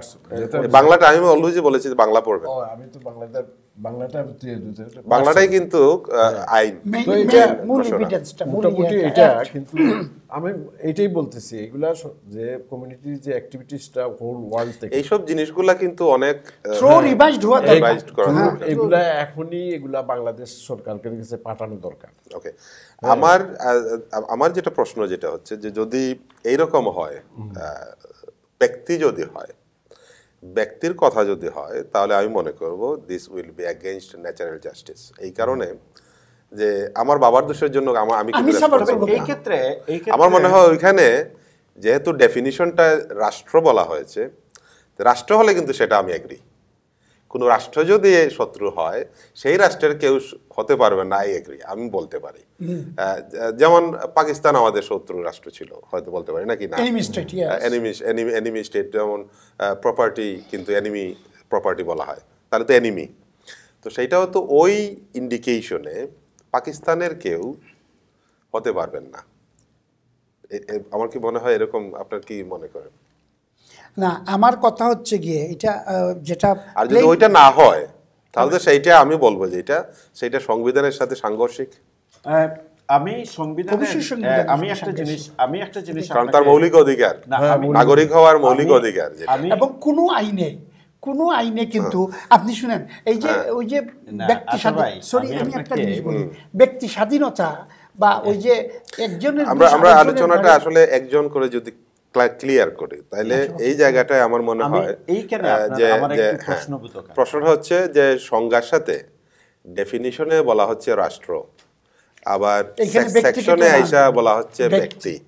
তো এইটা আমার মনে হয় একটু সাংঘর্ষিক কনস্টিটিউশনের সাথে। আপনি একটু পড়বেন এই যে এই- সেকশনটা আবার পড়বেন। দর্শক আহ, দর্শক শ্রোতা। কালাম চৌধুরী আপনাদের এক্স্যাক্টলি নাজির আহমেদ আপনিও দেখবেন যে অধীনে নাগরিক হইবার যোগ্য হইবেন না।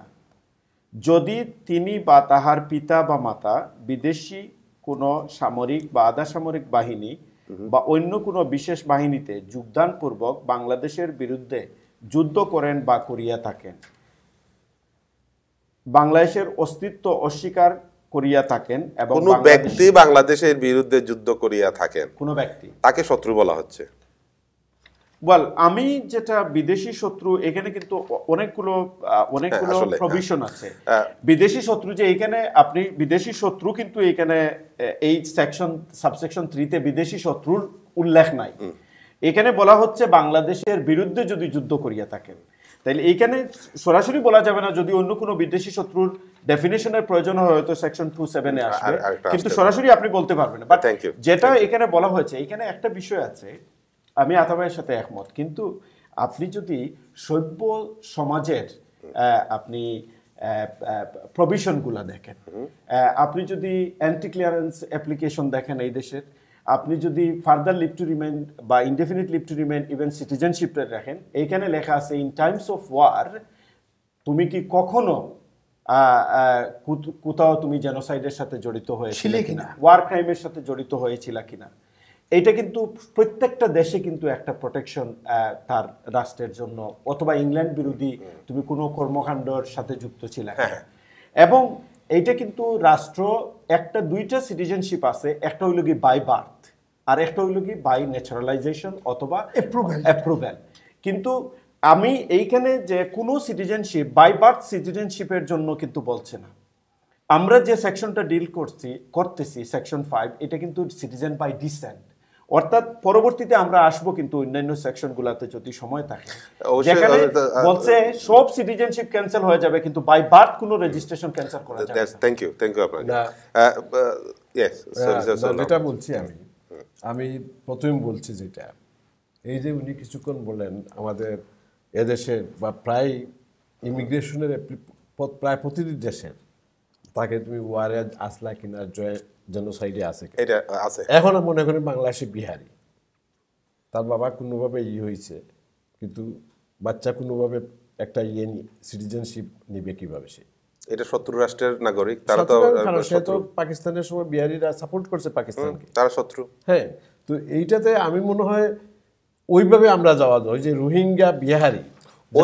আর যদি আইন যদি হয়ে যায় এটা তাহলে গভর্নমেন্ট এটা ইন্টারন্যাশনাল কমিউনিটিকে প্রোটেক্ট দিতে পারবে। দেখো অ্যাকর্ডিং টু আওয়ার ল হ্যাঁ আমরা এদেরকে সিটিজেন করতে পারি না। ওইটা ইম্প্যাক্ট ওটা পড়ে যাচ্ছে পড়ে যাচ্ছে, হ্যাঁ। আম- যেটা যেটা বেশি কনসার্ন যেটা যে আমাদের দর্শক শ্রোতা যারা বিদেশে কমিউনিটি যারা আছেন তাদের আসলে এই আইনটা জানা দরকার। আহ, তারা বিভিন্নভাবে কিন্তু কনফিউজড হয়ে যাচ্ছে। তো আমাদের এই জিনিসটা আজকের প্রোগ্রামে এটা আলোচনার মূল কারণটাই হচ্ছে আপনাদের অত্যন্ত থ্যাংক ইউ যে অত্যন্ত কষ্ট করে এসেছেন এত রাত্রে। যদি দর্শকদের কিছুটা উপকার হয়। কারণ অনেক মানুষের না পড়ে না জেনে কিন্তু আর্গুমেন্টে লিপ্ত হয়। আমি যদি আসলে প্রথম যে জিনিসটা বললাম যে সবাইকে বাংলাটা পড়া উচিত নাম্বার ওয়ান নাম্বার টু হচ্ছে কিছুটা গ্রে তো আমরা দেখতে পাচ্ছি যাই হোক। এর পরের সেকশনটা কি আমরা আমরা যাই। পরের সেকশন হলো প্রবাসীগণের নাগরিকত্ব। প্রবাসীগণের নাগরিকত্ব বিদেশে বসবাসকারী কোনো ব্যক্তি বিধি দ্বারা নির্ধারিত পদ্ধতি ও শর্তে সরকারের নিকট তাহার আবেদনের পরিপ্রেক্ষিতে বাংলাদেশের নাগরিকত্ব লাভ করিতে পারিবেন যদি তার পিতামাতা পিতামহ মাতামহ তিনি বিদেশি নাগরিকত্ব গ্রহণের পূর্বে বাংলাদেশের নাগরিক হইয়া থাকেন। এটা তাহলে আহ, বাংলাদেশের সিটিজেন বাই ডিসেন্ট না ন্যাচারালাইজেশন ন্যাচারালাইজেশন বিধিবদ্ধ পদ্ধতিতে যখন সে এটা কিন্তু আমার যেটা আমি তার রহমান সাহেব আমাকে হেল্প করবেন। আমি যেটা মনে করি সেকশন সিক্স যেটা প্রবাসীগণের নাগরিকত্ব এইখানে এটা আমার দৃষ্টিকোণ থেকে এটা একটু grey area it's needs to be more clarification more more of course আমরা আমরা সেকশন ফাইভের আন্ডারে আমরা যে নাগরিকত্ব পেলাম বাংলাদেশি সিটিজেন বাই ডিসেন্ট আর সেকশন সিক্সে প্রবাসীগণের নাগরিকত্ব এটা কিন্তু প্রবাসী বলতে আমরা বুঝি বাংলাদেশি সিটিজেনশিপ যারা বিদেশে বসবাস করে তারা কিন্তু ব্রিটিশ সিটিজেন না। প্রবাসী বলতে স্টিল বাংলাদেশি বাট বিদেশে বসবাস করে। তার ডিসেন্টের পরের স্টেপটার কথা বলা হচ্ছে। সেকশন সিক্সে তাইলে আমার বক্তব্য হলো ডিসেন্ট প্রবাসী বাংলাদেশির থার্ড জেনারেশনের কথা বলতেছেন আমি যে ব্রিটিশ সিটিজেন আমি যে সেকশন ফাইভে এটা হতে পারে সেকশন ফাইভের আন্ডারে যারা হলো তার তার পরবর্তী জেনারেশন সেকশন সিক্সে যাবে। কিন্তু এইখানে যদি দেওয়া হতো প্রবাসী অথবা অনুমোদন সূত্রে নাগরিক নাগরিকগণের পরবর্তী প্রজন্ম। এইভাবে যদি স্পেসিফিক করা হয় তাইলে যেমন এই যে পিতা বা পিতামহ অর্থাৎ পরবর্তী প্রজন্ম। পিতা বা পিতামহ মাতা বা মাতামহ। তাইলে বোঝা যাচ্ছে যে আপনি আপনার ছেলে অথবা আপনার ছেলের ছেলে যে জন্মগ্রহণ করতেছে। কিন্তু এইখানে প্রবাসীগণের নাগরিকত্ব যে শব্দটা ইউজ করা হয়েছে সেখানে বোঝা যাচ্ছে প্রবাসী বলতে আমরা সাধারণত বুঝি Bangladeshi national but living abroad not myself who is a British citizen living abroad এটা নন রেসিডেন্স বাংলাদেশ সেটা অন্য জিনিস হ্যাঁ। বাট থার্ড জেনারেশনকে নিয়ে আসছে সিটিজেন এবং রেসিডেন্স তফাত আছে। এটা তো অবশ্যই আমরা জানি যে রেসিডেন্স না না এই জন্য যেটা একটু আগে এই বন্ধুবর সৌল আহমদ মুকু যেটা বললেন আর কি যে থ্রু আউট জিনিসগুলা কিন্তু ভেগ বেশ কিছু উইক ড্রাফটসটা ড্রাফটসম্যান যে আমরা পড়ে যাই পরে আমরা আমরা আমরা সামারিটাতে পড়ে যাব। ওই যে কালাম চৌধুরী যেটা বলছে নাকি এখনই যেটা বললেন যে স্বাভাবিকভাবে ওই ধরনের ইয়েগুলো যদি রেখে দেওয়া হতো প্রভিশনগুলো তাহলে মোর স্পেসিফাই হতো। আমার আমার আমরা যেহেতু আমরা সবাই ইমিগ্রেশন প্র্যাকটিশনার আমরা সবাই জানি ব্রিটিশ সিটিজেনশিপের কথাটা আমরা জানি সবাই। আমি একটু হাইলাইট করছি।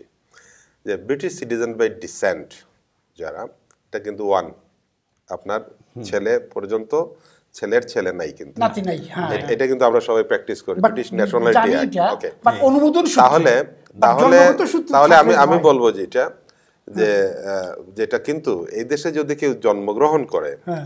তার ছেলে কিন্তু অটোমেটিক ব্রিটিশ কিন্তু তার ছেলের ছেলে কিন্তু অ্যানচেস্টারি রাইট আমরা কিন্তু মনে রাখতে হবে মনে রাখতে হবে। এটা কিন্তু রেসিডেন্ট এই এই এই দেশের লটা কিন্তু আছে কিন্তু এটা হচ্ছে অ্যানচেস্টার অর্থাৎ তাইলে ছেলে পরে নাতি আসতে হলে একমাত্র জন্মগত যদি হয় আর if you are a naturalise British তাহলে কিন্তু ওই জিনিসটা যাচ্ছে না না কিন্তু এখানে যাচ্ছে। আছে কিন্তু এখানে একটা আছে হ্যাঁ। এখন এখন আমি এখানে মনে করি যে এটা সিটিজেনশিপ অ্যাক্ট যেটা এটা তো তাহলে এক- ধাপ অ্যাডভান্স করে দিচ্ছে মানে ইফ আই আমি যদি যেমন আমি যদি জন্মগতভাবে বাংলাদেশি নাগরিক হই আমার ছেলে আমার নাতি।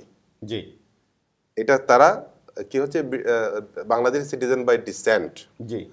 তাই যদি হয় এই প্রভিশনটা আমি মনে করি ফেয়ার এনাফ কি ব্যারিস্টার আতর কি মনে করেন? এই এই আমি- প্রভিশনটা কি ফেয়ার এনাফ আমি জিনিসটা ওই অর্থে বলব যে একদম যেটা এগিয়ে গেছে যেটা কালাম চৌধুরী বলল আর কি।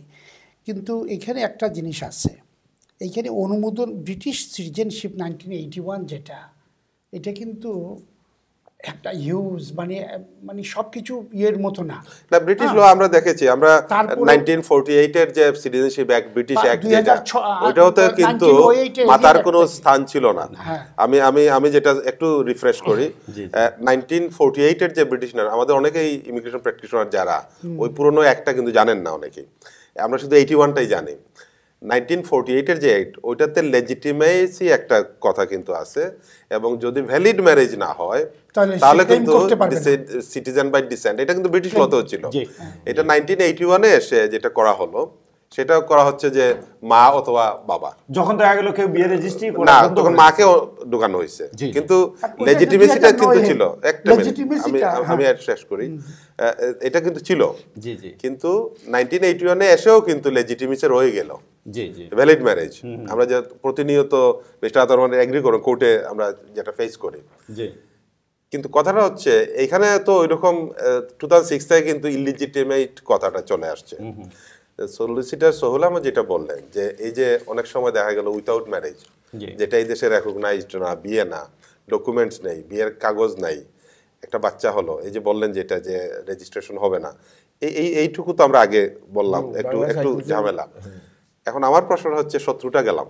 শত্রু কিন্তু এই জিনিসটা কি সলিসিটার কি মনে করবেন যে এখন কেউ যুদ্ধের আহ, বিরুদ্ধে ছিল এবং তার ছেলেকে যদি বহিষ্কার করা হয় তাহলে কি সংবিধানের সাথে সাংঘর্ষিক হবে না? মৌলিক অধিকার? যে চাইল্ড রাইট যেটা আছে ইন্টারন্যাশনাল সে বর্ন কিন্তু বাংলাদেশে হ্যাঁ এটার সাথে সাংঘর্ষিক না না না না আমি আপনাকে ক্লিয়ার করি সেকশন আচ্ছা, একটু clear, এটা of course আমরা আজকে if I am wrong Ata ভাই আমি যদি clear করা দরকার। আমি যদি বলি সেকশন 5 বংশসূত্রে নাগরিকত্ব যারা কিন্তু অ্যাব্রোড আছে নট এই ছেলে কিন্তু যে আপনি যে ছেলের কথা বলছেন সে কিন্তু বাংলাদেশে জন্মগ্রহণ করে নাই। সেকশন ফাইভ অনলি ডিল করতেছে parents father live in United Kingdom say for example father lives in United Kingdom and এই ইউনাইটেড কিংডমে ছেলের জন্ম হয়েছে।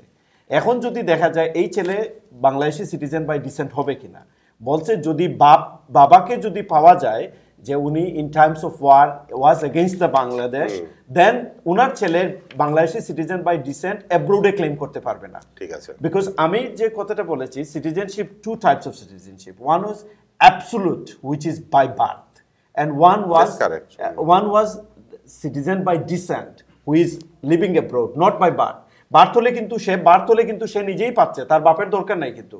আপনার সেকশন ফোর দিয়ে দিচ্ছে তাকে। তো শত্রুর ডেফিনেশনটা তো আমরা না ডিফারেন্ট পেলাম। বিদেশি শত্রু কিন্তু এখানে সেকশন সাবসেকশন থ্রিতে আপনি যে টু সেকশন টু সাবসেকশন সেভেনে বলছেন বিদেশি শত্রু কিন্তু পরবর্তীতে আসতেছে। কিন্তু এইখানে যেটা আমি যেটা মনে করি section five subsection three is unequivocal now you may have debate যে এই ছেলেটার রেজিস্টার এই ছেলেটার রাইটটা করব করা গভর্নমেন্টের জন্য কতটুকু যুক্তিসঙ্গত হবে বা যুক্তিসঙ্গত হবে না। কিন্তু আপনি এটার সাথে সেকশন টু সাবসেকশন সেভেনের মিল করতে পারবেন না because there is no no এর মেনশন বিদেশি শত্রু। বিদেশি শত্রু আমি আসছি কিন্তু পরবর্তীতে কিন্তু আরও আরোগুলো আচ্ছা আমরা পরবর্তীতে আমরা যদি সেকশন সেভেন এর কথা বলি প্রবাসী গণের নাগরিক নাগরিকগণের ক্ষেত্রে সীমাবদ্ধতা। ওয়াল এটা পড়ার আগে আমি বলে নেই I am completely against and utterly I think it's I am not সীমাবদ্ধতা অবশ্যই আহ, এবং সিরিজের I am program against আপনি- কি এগেইনস্টে যান যে ব্যারিস্টার কালাম চৌধুরী যেটা বললেন। আমি পড়ে নেই প্রথমে? হ্যাঁ ঠিক আছে বলুন। এই আইন কিংবা অন্য কোনো আইনে যাহা কিছুই থাকুক না কেন দ্বারা সোয়ের অধীনে নাগরিকত্ব প্রদান অর্থাৎ ওই যে প্রবাসী গুণের নাগরিকত্ব বহাল রাখিবার ক্ষেত্রে সরকার গেজেট প্রজ্ঞাপন দ্বারা যে কোনো শর্ত আরোপ করিতে পারিবে। ফাইন দুইয়ের দুই নম্বর সাবসেকশন টুতে বলছে সোয়ের অধীনে নাগরিকত্ব প্রাপ্ত ব্যক্তিগণ নিম্নবর্ণিত অধিকার সমূহ ভোগ করিতে পারিবেন না। যথা জাতীয় সংসদের সদস্য পদে নির্বাচন রাষ্ট্রপতি পদে নির্বাচন সুপ্রিম কোর্টের বিচারক প্রজাতন্ত্রের কর্মের নিয়োগদান স্থানীয় সরকার যে কোনো পদে নির্বাচন এবং কোনো রাজনৈতিক সংগঠন করা। ওকে আমার কোনো সমস্যা ছিল না, কারণ সেকশন ফাইভ আমার ছেলে বাংলাদেশি সিটিজেন বাই ডিসেন্স তো সেকশন সিক্সের আন্ডারে আমার ছেলে আসছে না। কিন্তু আমার প্রবলেমটা হলো, যখন আমি সেকশন থার্টিনে যাচ্ছি, সেখানে বলছে নাগরিক অধিকারের উপর কতিপয় বিধিনিষেধ দ্বারা পাঁচ, আট, নয়, দশ, এগারোর অধীনে বংশসূত্রে নাগরিকত্ব দ্বৈত নাগরিকত্ব, সম্মানসূচক নাগরিকত্ব, দেশীয় দেশীয়করণ নাগরিকত্ব, বৈবাহিক সূত্রে নাগরিকত্ব প্রাপ্ত ব্যক্তিগণের ক্ষেত্রে দ্বারা সোয়ের অধীনে আরোপিত নিষেধাজ্ঞা বলবৎ হইবে। অর্থাৎ সেকশন ফোর পরে সবাই কিন্তু আর কেউ আপনার ইলেকশন করতে পারবে না। যেটা চেয়ারম্যান হোক উপজেলা হোক this is the most controversial provision thank you mister Kalam Chowdhury আসলে আজকে অত্যন্ত চমৎকার আপনারা অত্যন্ত নিরপেক্ষভাবে আলোচনা করছেন। আমি অত্যন্ত কাজে। হ্যাঁ। সলিসিটার সোহুল আহমদ। হুম, আমি এই যে আমি আমি আপনাকে আমার একটা প্রশ্ন যেটা এই যে সীমাবদ্ধতা that is that is very important আমি এটা বলতে চাচ্ছি এবং ব্যারিস্টার কালাম চৌধুরীকে ধন্যবাদ। আপনি একদম নাইস রিডিং এবং ক্লিয়ার রিডিং দর্শক শ্রোতা আপনারাও এই এই প্যারাগ্রাফটা শুনেছেন। আসলে এইটা নিয়েই আমাদের এখনকার আলোচনা। আমার এখনকার যে প্রশ্নটা হবে সলিসিটার সোহুল আমাদের কাছে যে এই যে সীমাবদ্ধতা মানুষের উপর হ্যাঁ আপনি সিটিজেনশিপ দিলেন কিন্তু আপনি সীমাবদ্ধ লিমিটেশনস তাহলে কি সিটিজেন কি দুইটা ক্লাস হয়ে গেল? এটা এটা দু ধরনের এটা কি বাংলাদেশ সংবিধানের সাথে সাংঘর্ষিক? আমি যেটা সাংগঠনিক আপনি বললেন you are a citizen of Bangladesh dual citizen citizen of Bangladesh তাহলে কোনো কিছুতে আপনি ইনভলভ হতে পারবেন না। স্পেসিফিক্যালি আমি ওইগুলা জাতীয় সংসদ এটা তার মৌলিক অধিকার। মনে করেন আমি কনস্টিটিউশনের বিধান আমি জানি না আপনাদের মনে আছে কিনা যে আমাদের ফান্ডামেন্টাল রাইটসগুলো আছে কনস্টিটিউশনে যে আহ, কাজের অধিকার কর্মের অধিকার রাষ্ট্রের ইয়ের অধিকার সবগুলা ইকুয়ালিটি এগুলো তো আমাদের মৌলিক অধিকার। আমি যদি একটু অ্যাড করি সাথে সেকশন জন্মসূত্রে বাংলাদেশি না হলে আপনি যদি ডুয়াল সিটিজেন বা বহির্বিশ্বে থাকেন আপনি কিন্তু সেকশন ফাইভ হোক সিক্স হোক সেভেন হোক থার্টিন হোক ইলেভেন হোক আপনি কিন্তু কোনো সেকশন থার্টিনে যদিও সেকশন সেভেনটা আপনি ভুলে যাচ্ছেন আপনি কিন্তু এই দেশের ডুয়েল সিটিজেন আপনি কিন্তু সব রাইটস না অ্যাপ্লাই করছেন তবে সেই ক্ষেত্রে একটা প্রভিশন আছে। না আমার প্রশ্নটা হচ্ছে আমরা সবাই কিন্তু ডুয়েল সিটিজেন আমরা যে তাই হয় এদেশের কিন্তু সব political right economic right all rights আমরা ইকুয়াল ভাবে আমরা পাচ্ছি। আমাদের তো কোনো লিমিটেশনস নাই। না। তাহলে ওই লিমিটেশনস কেন হবে? হ্যাঁ যে এইটা একটা কথা। তো সেকেন্ড পয়েন্টে যেটা হচ্ছে যে এইটাই কি এইটা করে না যে বাংলাদেশের বাইরে যারা অবস্থান করছেন যারা বিভিন্নভাবে প্রতিষ্ঠিত বাইরে অনেক মিলিয়নিয়ার আছেন অনেকেই আছেন অনেকের ইনভেস্টমেন্ট আছে বাংলাদেশে অনেকের বাংলাদেশে বিভিন্ন ধরনের স্বপ্ন আছে এমপি হবার। অনেকের স্বপ্ন আছে মেম্বার হওয়ার অনেকের চেয়ারম্যান হওয়ার স্বপ্ন আছে। যার কারণে অনেকেই কিন্তু বাংলাদেশে ইনভেস্ট করে চ্যারিটি করে বাংলাদেশে বিভিন্নভাবে ইনভলভ জি। এই যে সীমাবদ্ধতাটুকু এটার কারণে আপনি আমি প্রথমে ব্যারিস্টার আতাউর রহমানকে যেটা বলব যে আপনি কি মনে করেন এই লিমিটেশনসের কারণে বাংলাদেশ সরকার একটা একটা সিচুয়েশন ক্রিয়েট করছে যেটা যেটা ইকোনমিক নেতিবাচক ভূমিকা পড়তে পারে মানুষের। অবশ্যই এবং এটা উচিত না। নেতিবাচক শব্দটা নেগেটিভ বলছি। আমি অনেকে নেতিবাচক শব্দ হয়তো খেয়াল করতে হ্যাঁ। পারবেন না। যে নেগেটিভ ইম্প্যাক্ট পড়বে কি নেগেটিভ না? ইম্প্যাক্ট তো অবশ্যই পড়বে। একদিকে যেমন ধরেন পলিটিক্যালি না রাষ্ট্রীয় প্রশাসন যন্ত্রেও আমি মনে করি এদেশ থেকে যে সমস্ত বাংলাদেশি বংশোদ্ভূত যে সমস্ত জেনারেশনের ছেলেমেয়েরা আছে, এদেরকে যদি সরকার দেশের সামগ্রিক উন্নতি করতে চান, তাহলে তাদের কিন্তু আরও আকর্ষণ করে নেওয়া উচিত।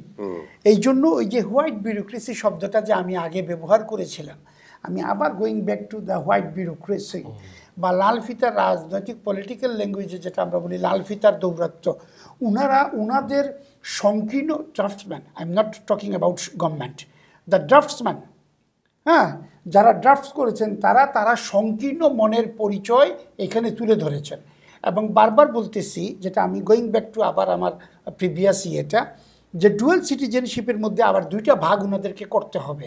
যারা তাদের ওই যে ডোমিসাইল অফ অরিজিন সারেন্ডার করে ইয়ে নিছে হ্যাঁ? তাদেরকে এক ক্যাটাগরিতে আনতে হবে। আর যারা তাদের ডোমেসাইল অফ অরিজিনকে রেখেই আর একটা বিদেশি নাগরিকত্ব নিয়েছে ইভেন আমি দেখতেছি Italian citizenship British citizenship Bangladeshi citizenship একজন ক্লায়েন্ট উদ্যোগ আমি দেখছি যে তিনটা দেশের আমার প্রশ্নটা প্রশ্নটা ছিল যে এইসব কারণে কি একটা নেগেটিভ ইম্প্যাক্ট অবশ্যই নেগেটিভ ইম্প্যাক্ট পড়বে মানে এরা তো এমনিতেই এরা যাবে না? ইনভেস্টমেন্ট কি হবে না? মানি কি হবে না? আহ, মানুষ মিস্টার কি দেশে যেতে ইন্টারেস্টেড হবে না। আমি মিস্টার মডারেটরকে বলব আমাদের যে- এই যে প্রতি মাসে ইয়ে আসলে যে বিয়ে শাদী হচ্ছে আমাদের ছেলেমেয়েরা কোথায় যাচ্ছে? তারা ওই সিঙ্গাপুরে যাচ্ছে তারা মালয়েশিয়া যাচ্ছে তারা মুসলিম কান্ট্রিতে গেলেও তারা বাংলাদেশে যাচ্ছে না। অথচ কেন? এটা বাংলাদেশ সরকার কি বঞ্চিত হচ্ছেন না? এই আয় থেকে এই যে ছেলে মেয়েগুলো যাচ্ছে হানিমুন বলেন সদ্য বিবাহিত যারা যাচ্ছে বা এমনিতেও বৎসরে যারা দুই তিনটা হলিডে করতেছে তারা মালয়েশিয়া সিঙ্গা এটা কি ইকোনমিক বঞ্চিত না? ঠিক তেমনিভাবে এই ছেলে মেয়েদের মেধাগুলোকে বাংলাদেশের রাষ্ট্র বিনির্মাণে আমার মনে হয় সময় উপযোগী পদক্ষেপ নিলে ইনপুট করা যেত আচ্ছা, আমার মনে হয় সেকশন সেভেনের যেটা বলছে ওই যে জাতীয় রাষ্ট্রপতি সুপ্রিম কোর্ট সরকারি কোনো পদ যেটা। এইটা কিন্তু এমপি ইভেন মেম্বার হতে পারবে না। ইউনিয়ন পরিষদের ইউনিয়ন মেম্বার বা জাতীয় সংসদ জানি না বা রাষ্ট্রপতি জানি না। আমার কাছে মনে হইতেছে article twenty nine of the Bangladesh constitution is violation totally conflict conflict হচ্ছে। কারণ এই যে আপনি বলছেন একটু আগে যে একদম পরিষ্কার বলা আছে বাংলাদেশের কনস্টিটিউশন টোয়েন্টি নাইনে যে all citizens in respect of employment or office in the service of republic বুঝছেন এটা এটা একদম ক্লিয়ার আর্টিকেল এইটা কিন্তু ইয়ে হয়েছে।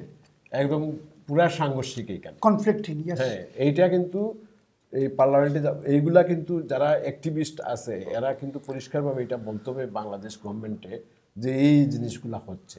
তো সেকশন সেভেন আসলে সেকশন সেভেন যেটা এইটাই হচ্ছে সবচাইতে মারাত্মক এফেক্ট করবে প্রবাসী যারা বিদেশে যারা প্রবাসী যারা ওই লেভেলের আছে। তাদের যে স্বপ্ন যেমন হ্যাঁ। আমি বলব যে আমেরিকা বলেন ইউনাইটেড কিংডম বলেন বা ইউরোপ বলেন এই যে আমাদের বড় বড় নেতারা মিনিস্টাররা আসেন যে বড় বড় প্রোগ্রাম করেন তো এইসব কর্মীরা তো ইন্টারেস্টেড হবে না ফিউচারে তো তারা তো এই যে পলিটিক্স রাজনীতি আমরা দেখি এটা কি নেতিবাচক ভূমিকা নেতিবাচক গিয়ে পড়বে না?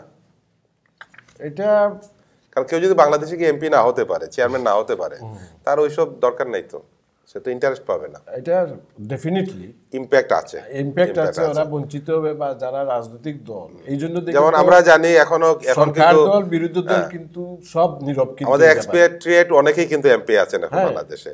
অনেক চেয়ারম্যান ইউনিয়ন পরিষদের চেয়ারম্যান কিন্তু এক্সপেট্রিয়েট এবং তারা ভালোই চালাচ্ছেন। চেয়ারম্যান যারা ইউনিয়ন পরিষদ চেয়ারম্যান বা মেম্বার যারা এবং আমি জানি অনেক প্রজাতন্ত্রের কোনো কাজেও নিয়োজিত অনেকেই আছেন। অনেক উপদেষ্টাও আছেন অনেক অনেক সময় অনেক আছেন। যাই হোক ওটাতে আমরা জিনিসটা জানলাম। আমি ব্রিফলি যেহেতু আমাদের সময় কম আমরা একটু তাড়াতাড়ি যাব। পরবর্তী সেকশনটা কি বলে? আট আট নম্বর আর মনে হয় গুরুত্বপূর্ণ কোনো প্যারাগ্রাফ নাই। আর গুরুত্বপূর্ণ তেমন গুরুত্বপূর্ণ তেমন paragraph যেটা সেকশন থার্টিন আছে যেটা আমরা আলাপ করেছি। অবশ্যই। আমি একটু ফিরে আসছি আপনার কাছে। দর্শক শ্রোতা আমরা এতক্ষণ যা আলোচনা করলাম আপনারা অবশ্যই কিছুটা হলেও আমরা আপনাদেরকে একটা দিক নির্দেশনা দিতে পেরেছি যে আসলে সিটিজেনশিপ একটা কি? এবং আরেকটা জিনিস আপনাদেরকে শেয়ার করব যে আপনারা শুধু বাংলাটা পড়বেন বিভিন্ন ধরনের যে ট্রান্সলেশন বাংলা ট্রান্সলেশন করাটা কিন্তু অনেক জটিল এবং ইংলিশ থেকে বাংলা করা আরও জটিল।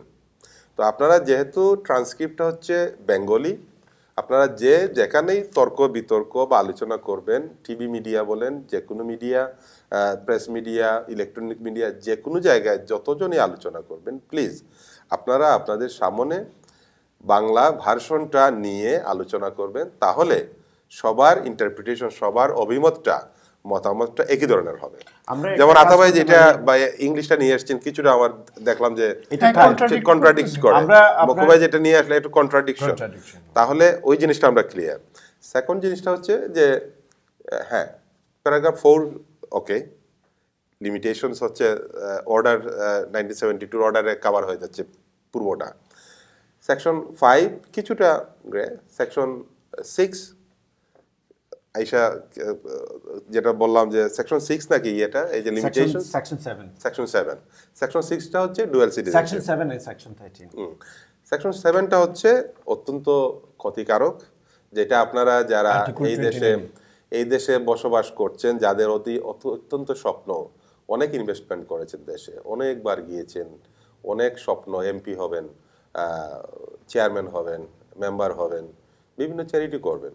আপনাদের সবার পিছনে কিন্তু একটা লজিক থাকে যে জনগণের কাজ করা, জনগণের কাজ করতে গেলে জনপ্রতিনিধি হওয়া মেম্বার অফ পার্লামেন্ট হওয়া মিনিস্টার হওয়া। এই স্বপ্নগুলো আপনারা যারা দেখছেন, তাদের জন্য এই আইনটা অত্যন্ত প্রয়োজন, ভালো করে পড়ে নেওয়া। কারণ এটা পড়তে গেলে আপনারা যারা এখানে রাজনীতির সাথে জড়িত, আমি বিএনপি বলব, আওয়ামী লীগ বলব এবং অন্যান্য যত জাতীয় পার্টি যা যত পলিটিক্যাল পার্টি যত সামাজিক সংগঠন যারাই আছেন সবার স্বার্থে কিন্তু একটা আওয়াজ তোলা দরকার যে এই আইনে একটা সংশোধন দরকার একটু মার্জিত করে একটু পরিবর্তন করে।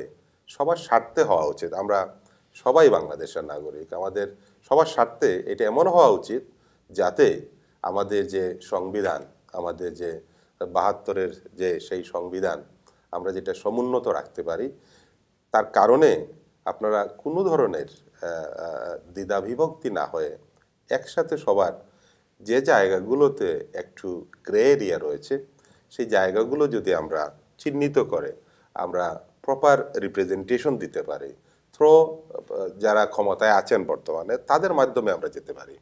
এবং যারা বিরোধী, হয়তো সেটা বিভিন্ন ইয়ে আছে যারা বিরোধী আছেন, যারা অন্য পক্ষে আছেন সবার উচিত এই একটি প্ল্যাটফর্মে এসে এই ডিসক্রিট আলোচনা না করে একটা প্ল্যাটফর্মে এসে কি কি দরকার একদম সংক্ষিপ্তভাবে কি কি concrete, concrete সংশোধন দরকার সেইটা এইখানে যারা পলিটিক্যাল পার্টি যারা প্রধান আছেন প্রেসিডেন্ট সেক্রেটারি যারা আছেন তারা প্রপার রিপ্রেজেন্টেশন বাংলাদেশের প্রপার ওয়েতে শুধু মাত্র মিটিং আর সেমিনার এগুলো করে কিন্তু কোনো কিছুই কাজ হয় না আইন কিন্তু হয়েই যাবে।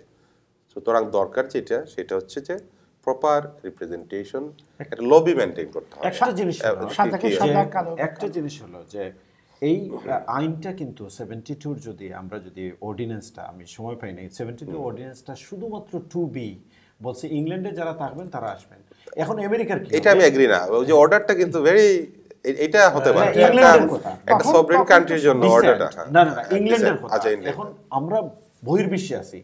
এই একটা কিন্তু আমাদের দরকার। সবার জন্য দরকার। এবং এই একটা এটা আমরা প্রথম আমরা দ্যাট ইজ দ্যাট ইজ এই অ্যাক্ট দরকার এই অ্যাক্টের amendment with some amendment without politics আমার এবং- বক্তব্য হলো উইদাউট পলিটিক্স এবং আমি আমি মনে করি আমি মনে করি যেটা বাইরে যত সব দেশ আছে সব দেশেই কিন্তু আওয়ামী লীগের রিপ্রেজেন্টেটিভ প্রেসিডেন্ট সেক্রেটারি আছেন কমিটি আছে বিএনপির আছে জাতীয় পার্টির আছে।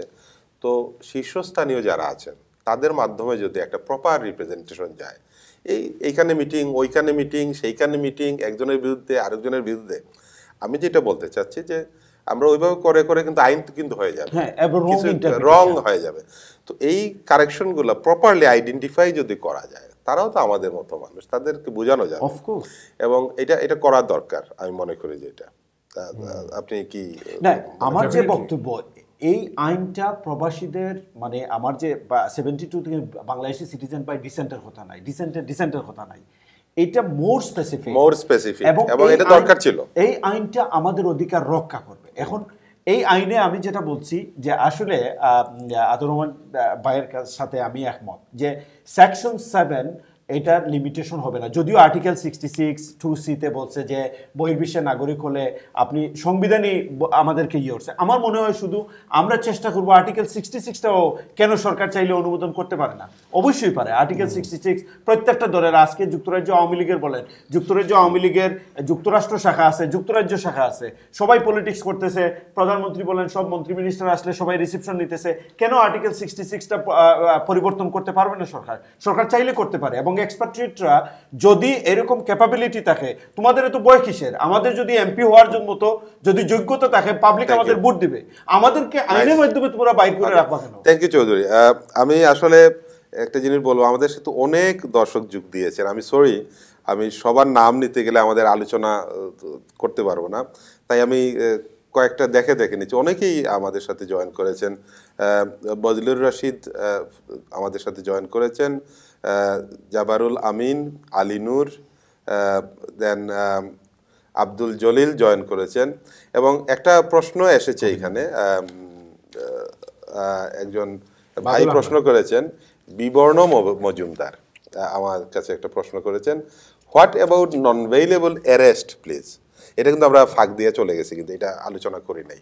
যে এই যে অপরাধটা কি? এবং অপরাধের যে নন ভেইলেবল অফেন্স এটা ওপেন করে সেকশন এক্সপ্লেন টোয়েন্টি করবেন ওয়ান সেকশন এটা কিন্তু offence. It's- it is a serious matter. Section twenty one well citizenship অ্যাক্টগুলা always আপনার সেন্সিটিভ এবং এইটা সিটিজেনশিপ অ্যাক্টের আন্ডারে যদি কোনো অফেন্স থাকে এটা ইট ইজ আপনি একজন নাগরিক হিসাবে ভুল তথ্য দিয়ে যদি আপনি নাগরিকত্ব নেন obviously it is a serious offence কারণ এটা কিন্তু I think it's it's it's it's not it's not ordinary offence it's a serious offence against the state you are committing this offence আবার সেকশন টোয়েন্টি থ্রিতে বলছে, কীভাবে এই ইনফরমেশনগুলো হচ্ছে এ- এ- এই যে ইনফরমেশন যদি আপনি ব্রিচ করেন তাইলে কীভাবে আপনি অফেন্স বলতে কি শুধু ফলস রিপ্রেজেন্টেশন বলছেন? নাগরিকত্বর ক্ষেত্রে কিন্তু মনে করেন আপনাকে নিষিদ্ধ করা হলো আপনি রাজনীতি করতে পারবেন না। ওয়েল সেই ক্ষেত্রে তো আপনি করলেন। আপনি তো করলেন আপনি তথ্য গোপন করে করলেন।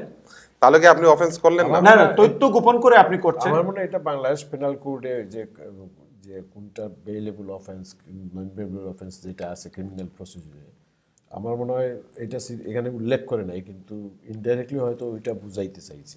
আহ, না।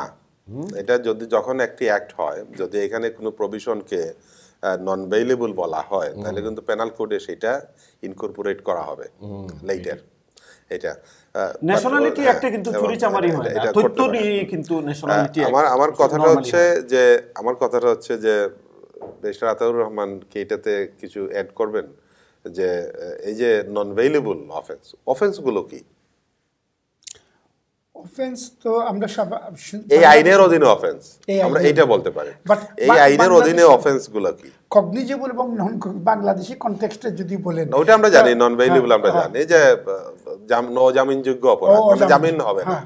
তো আপনাকে পচতে হবে কাস্টডিতে বাট একজন যদি একটা সরকারি চাকরি বা এই ধরনের কোনো গোপন। তথ্য গোপন করে সে গেল। নন বলেবল অফেন্সে পড়ে যাবে অফেন্সগুলো কি আমি কিন্তু নন ভেইলেবল ভেইলেবল বলছি না। সেকশন সেভেনের আমরা মূলত থেকেই সেকশন সেভেনের বিরোধী আমি তো আচ্ছা, সেকশন আচ্ছা, সেভেন আমি আমি আমি একটা জিনিস বলি।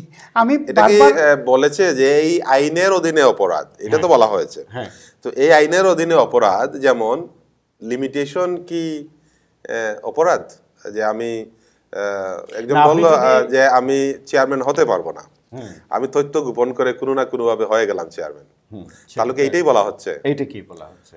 এটাই বলা হচ্ছে, তাইলে তো এটাই করতে পারবেন না আপনি যদি তথ্য গোপন করে আপনি হন আপনি রাষ্ট্রপতি হতে রাজনীতি করতে পারবেন না সেটা তো বলা হয় নাই কোনো জায়গায়। না বলা হয়েছে বলা হয়েছে?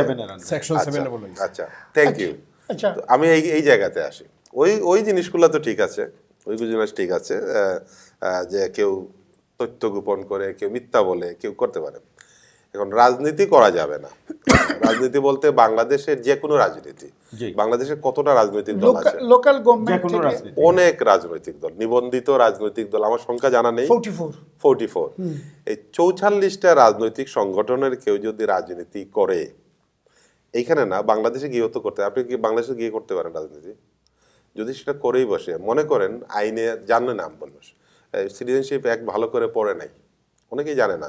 সে তো আগের নিয়ম অনুযায়ী সে বাংলাদেশে গিয়ে সে এলাকায় গিয়ে মিটিং মাটিং করল এইটা সেটা করল। তো এই যে করার কারণে সে কি অপরাধ করল না? হ্যাঁ সিটিজেনশিপ অ্যাক্টের আন্ডারে অপরাধ করেছে। এইটাও তো সিরিয়াস ম্যাটার এক্স্যাক্টলি এইটা এইটা একটু শিথিল করা দরকার। হ্যাঁ আপনি যেটা বলেছেন কেউ যদি ফলস রিপ্রেজেন্টেশন করে এখন দেখা গেল এমপি হয়ে গেছে বা একটা একটা রাষ্ট্রের কোনো উচ্চ পর্যায়ের একটা চাকুরিতে জয়েন করে ফেলল সেটা I agree that is a serious offence এটা আমি অ্যাগ্রি বাট এই যে অপরাধটা রাজনীতি করা এটা আমাদের ব্লাডের সাথে মিক্সড হয়ে গেছে। আমাদের যারা আমি আমরা কিন্তু রাজনীতি ছাড়া বসতে পারি না। অনেকের কিন্তু বেমার হয়ে যাবে যদি রাজনীতি না করে। হ্যাঁ অসুস্থ হয়ে পড়বে অসুস্থের স্বাভাবিক। সাথে সময় কাটবে না তার টাইম পাস হবে না। আমি যেটা আপনাকে বলি তখন কি হবে? না সেকশন সেভেনের ইন ফান্ডামেন্টালি আমি সেকশন সেভেন আমি ডিসএগ্রি করি। আমি ধরে নিচ্ছি যারা রাজনীতি করবে চাকরি করবে রাষ্ট্রপতি হবে তারা হয়তো দশমিক ফাইভ পার্সেন্ট বাট এই ফাইভ পার্সেন্টের জন্য কেন এই আইনটা আমি আমি আমি হ্যাঁ, আমি দশমিক হোক, আমি আপনাকে উদ্দেশ্য করে বলছি। হ্যাঁ আমি আপনাকে উদ্দেশ্য করে বলছি যে আপনি দেশে গেলেন। You are involve with a political party এটা কোনো কিছু একটা কাজ করলেন। এটা তো রাজনৈতিক কাজ।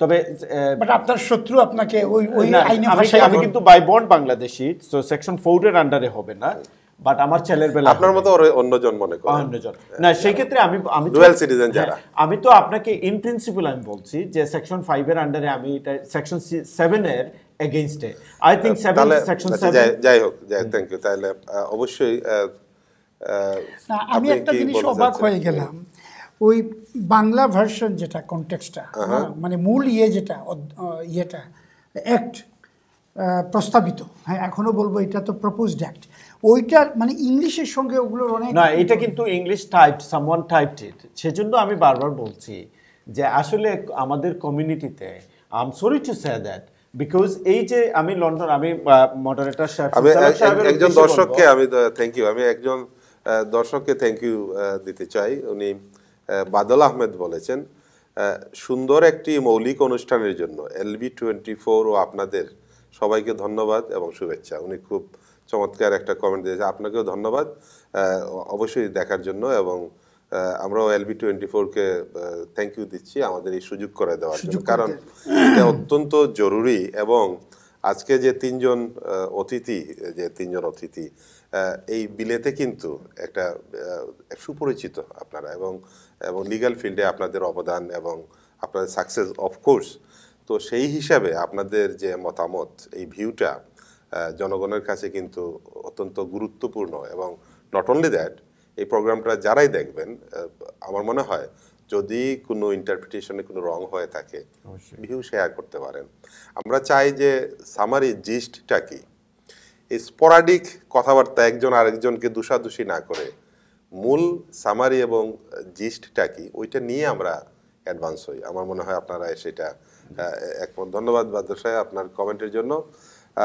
দর্শক শ্রোতা আপনারা এতক্ষণ দেখছেন দি লাইট অফ দি ল অনুষ্ঠান এবং এই অনুষ্ঠানে আজকের যে টপিক সেটা হচ্ছে বাংলাদেশের প্রপোজড সিটিজেনশিপ অ্যাক্ট যেটা অনেক বিতর্ক, অনেক প্রভিশন আমাদের পক্ষে। অনেক প্রভিশন আমাদের বিপক্ষে। আমরা আসুন আমরা সবাই মিলে একসাথ হই। একসাথে আমরা আওয়াজ তুলি যে যে সকল জিনিস আমাদের এগেইনস্টে চলে যায় আমাদের বিরুদ্ধে যায় সেই সকল ধারাগুলোকে একটু সংশোধন করা যায়। এবং সেটার জন্য আমাদের সকলের ঐকান্তিক প্রচেষ্টা দরকার আমাদের সকলের সহযোগিতা দরকার। শুধু আমরা একটা জায়গায় বসে আলোচনা করলাম একজন আরেকজনের বিরুদ্ধে বললাম সেটা কিন্তু সমাধান হবে না। সমাধান হবে প্রপার রিপ্রেজেন্টেশন এবং প্রপার চ্যানেলে একদম আসল জায়গায়। কিন্তু কারণ যদি ক্যান্সার হয় মলম দিয়ে ক্যান্সার হয় না সেটা কিমিওথেরাপি দিতে হয়। তো এই ধরনের মনে হয় লবি প্রয়োজন। কারণ বর্তমান যে ইয়েতে যাওয়াটা একটা লবি করে যাওয়াটা দরকার। আদারওয়াইজ হয়তো প্রবেশ করা মুশকিল হয়ে যাবে। সেই জন্য আমি যেটা। হ্যাঁ আমার আমার মনে হয় সরকারকে সাহায্য করা দরকার। অনেক সময় স্লিপ হয়ে যায়। আমরা আসব পরে খুব ইন্টারেস্টিং আলোচনা। আমরা আরেকটা ব্রেকে যাব। ব্রেকের পরে এসে কন্টিনিউ করব আজকের এই আলোচনা। বাংলাদেশ সিটিজেনশিপ অ্যাক্ট যেটা হতে যাচ্ছে সেইটার পক্ষে এবং বিপক্ষে আমাদের কি প্রভাব পড়বে সেই আলোচনা নিয়ে আপনারা আমাদের সাথেই থাকবেন, আশা করি। সেই পর্যন্ত আবারও দেখা হচ্ছে আপনাদের সাথে। ধন্যবাদ।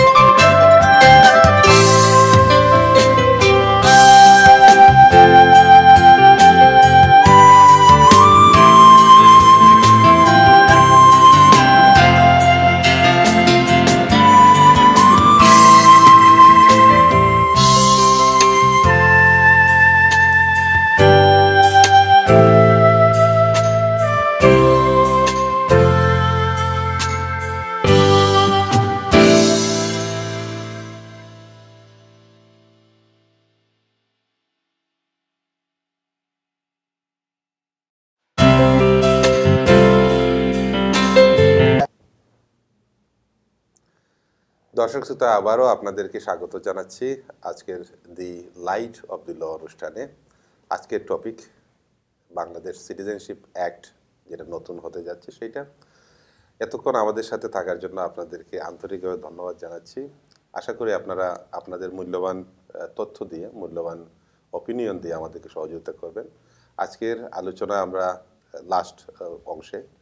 তো আপনারা যে সকল প্রশ্ন করবেন প্লিজ খুব সংক্ষিপ্তভাবে করবেন, তাহলে আমরা অনেক প্রশ্ন এইখানে এসে যায় আমাদের অল্প সময়ের মধ্যে। সবার উত্তর দেওয়াটা একটু ডিফিকাল্ট হয়ে যায়। তাহলে আমি চেষ্টা করব দু একটা ইয়ে নয় অবশ্যই যারা লাইভ দেখছেন আমাদের মধ্যে প্রশ্ন এবং আশিক রহমান আমাদের একটা জয়েন করেছেন এবং আরেকজন আমাদের কাছে একটা প্রশ্ন করেছে, আমিন মোহাম্মদ নুরুল। একটা গুরুত্বপূর্ণ প্রোগ্রাম করছেন, অনেকেই এইটা জানে না। আসলেই ঠিক, আপনার সাথে আমরা একমত। আপনাদের তথা আইনবিদদের কথায় তারা হয়তো কিছুটা বুঝতে পারবে। ধন্যবাদ আপনাদেরকে। আসলে এই জিনিসটা আসলে দরকার। এবং বাদুল্লাহ আহমেদ উনি একটা কথা বলেছেন, আমার প্রস্তাব থাকবে যে আপনারা সম্মিলিতভাবে বাংলাদেশ সরকারকে একটা কাউন্টার প্রপোজাল দেবেন। তো এই বিষয়ে বিষয়ে এটা তো আমরা অবশ্যই ইয়েতে এসেছি। এবং ব্যারিস্টার নজির আহমদ যেটা বলেছেন যে English version is not official version. উনি একমত করেছেন at all no official translation has been done yet so it cannot be relied upon আমি এটা একমত। তো Bengali Bengali one is the authentic one এটা আমরা জানি যে এখন যত অ্যাক্ট হয় সব বাংলা বাংলাতেই হয়। এখন নজির ভাইয়ের কাছে কিন্তু আহ, যে বাংলা ভার্সন যেটা এটাই কিন্তু হ্যাঁ, এটা এটা এটা হয়। এবং আমাদের সাথে আরও জয়েন করেছেন মীর রুকন আহমেদ। বলেছেন thank you very much to all of your nice and well time programme presenters তো থ্যাংক ইউ আপনাকে রুকন আহমেদ সাহেব আপনার আমাদের সাথে যোগ দেওয়ার জন্য। আপনার আপনাকে ধন্যবাদ জানাচ্ছি এবং ধন্যবাদ জানাচ্ছি আমাদের আজকের যে প্যানেলিস্ট তিনজন অত্যন্ত বিজ্ঞ আমি বলব যে কমিটিতে সবাই আপনাদেরকে চিনেন এবং আপনাদের মতামতের কিন্তু অনেক অনেক মূল্য রয়েছে এবং এটার উপরে একটা একটা পজিটিভ একটা ইম্প্যাক্ট হবে আমাদের আজকে আলোচনার মাধ্যমে।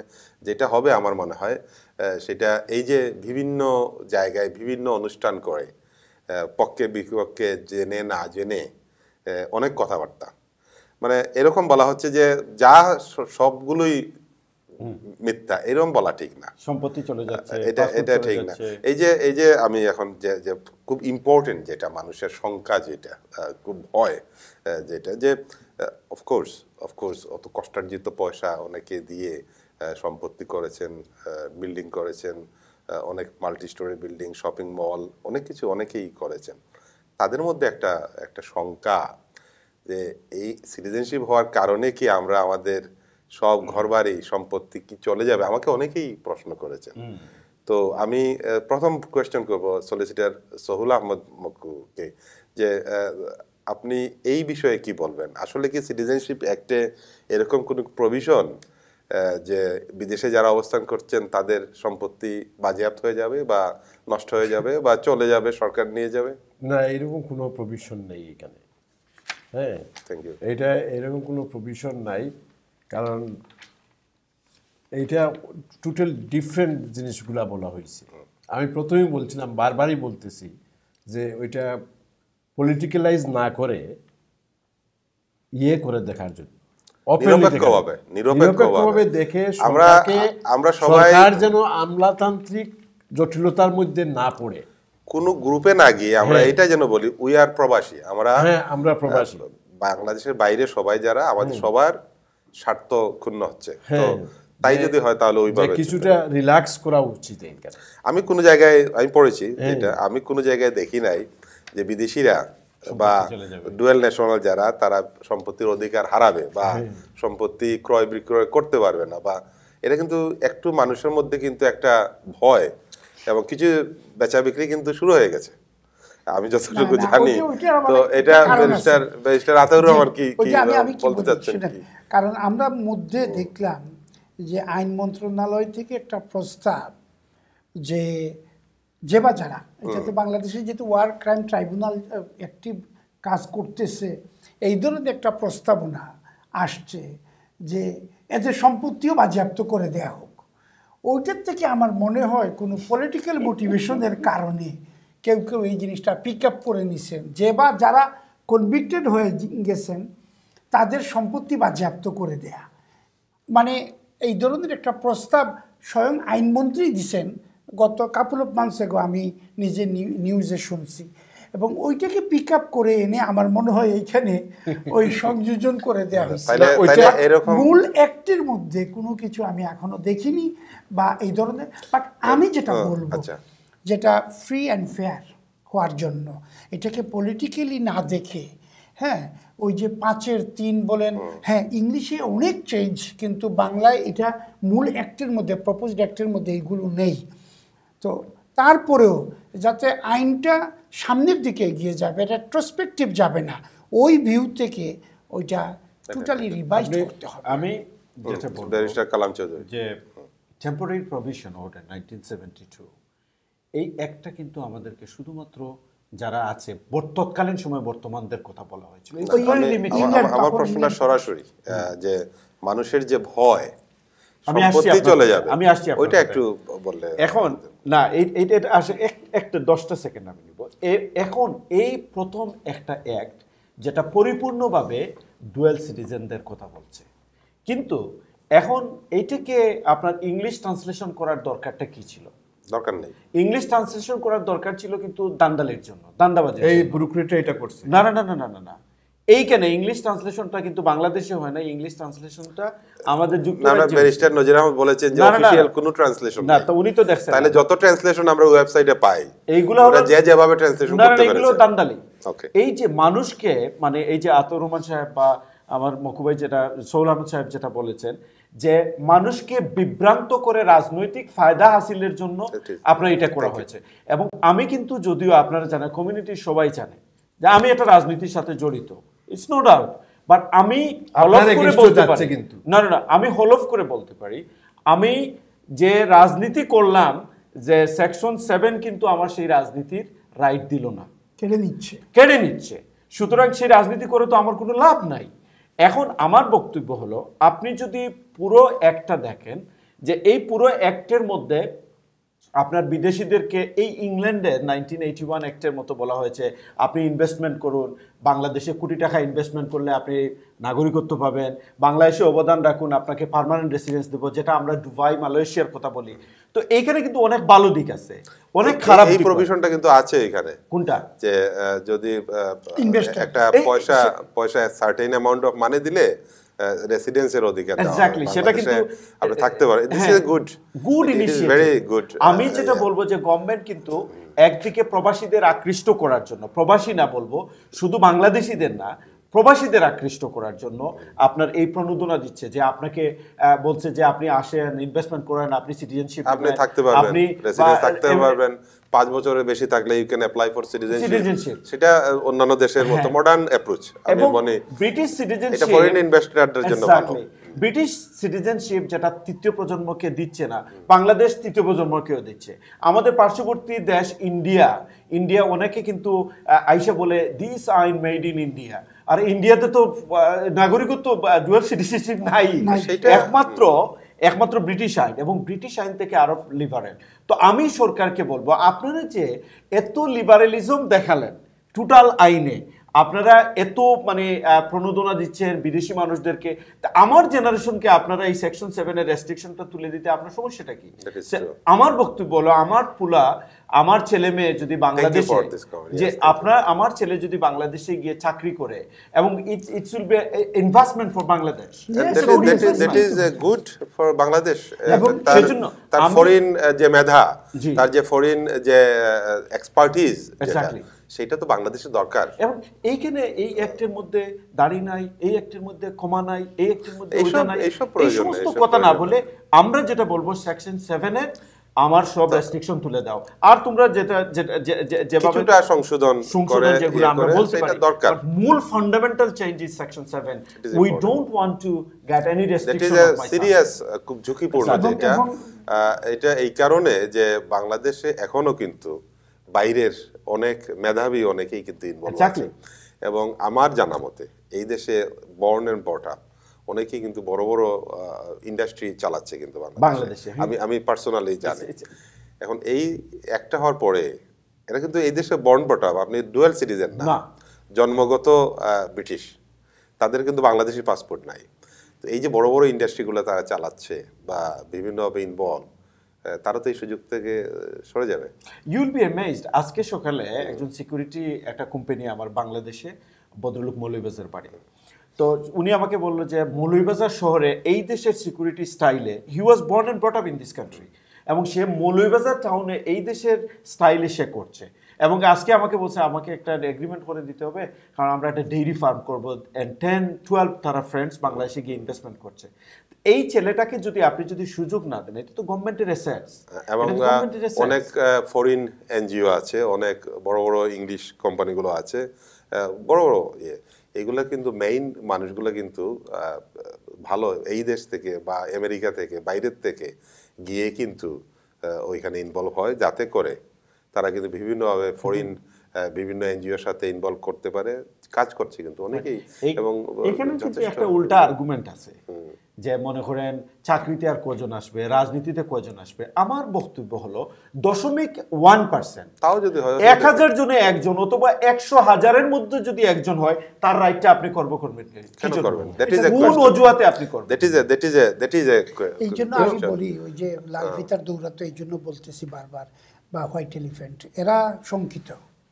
এরা শঙ্কিত ওই বিদেশি এক্সপার্টিস যে আমাদের যে প্রজন্ম যে বাচ্চারা এখানে ওয়ার্ল্ড ব্যাংকের প্রজেক্টের বেশ লিডিং পোস্টে বড় বড় পজিশনে আছে। আমাদের এই সিলেটি ছেলে।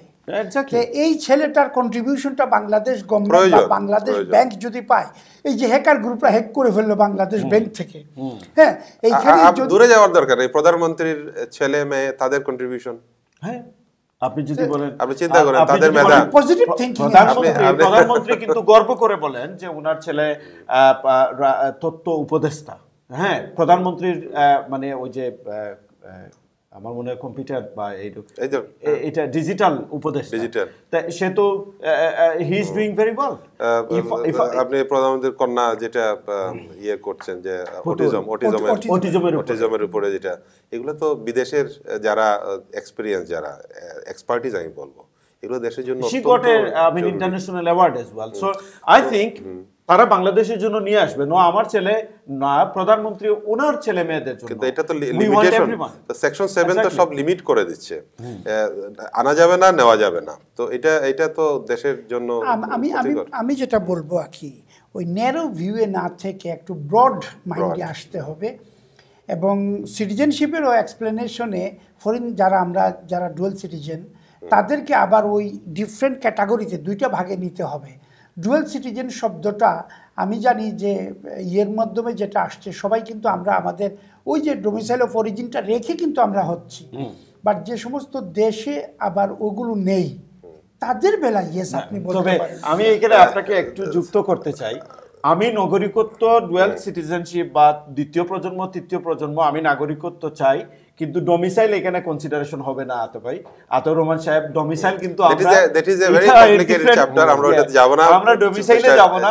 আমরা স্ট্রেট হ্যাঁ, ফরওয়ার্ড হ্যাঁ, আমি সবচেয়ে বড় জিনিস যেটা আমি আপনাকে থামাতে হচ্ছে এই কারণে যে আমাদের সময় অত্যন্ত কম।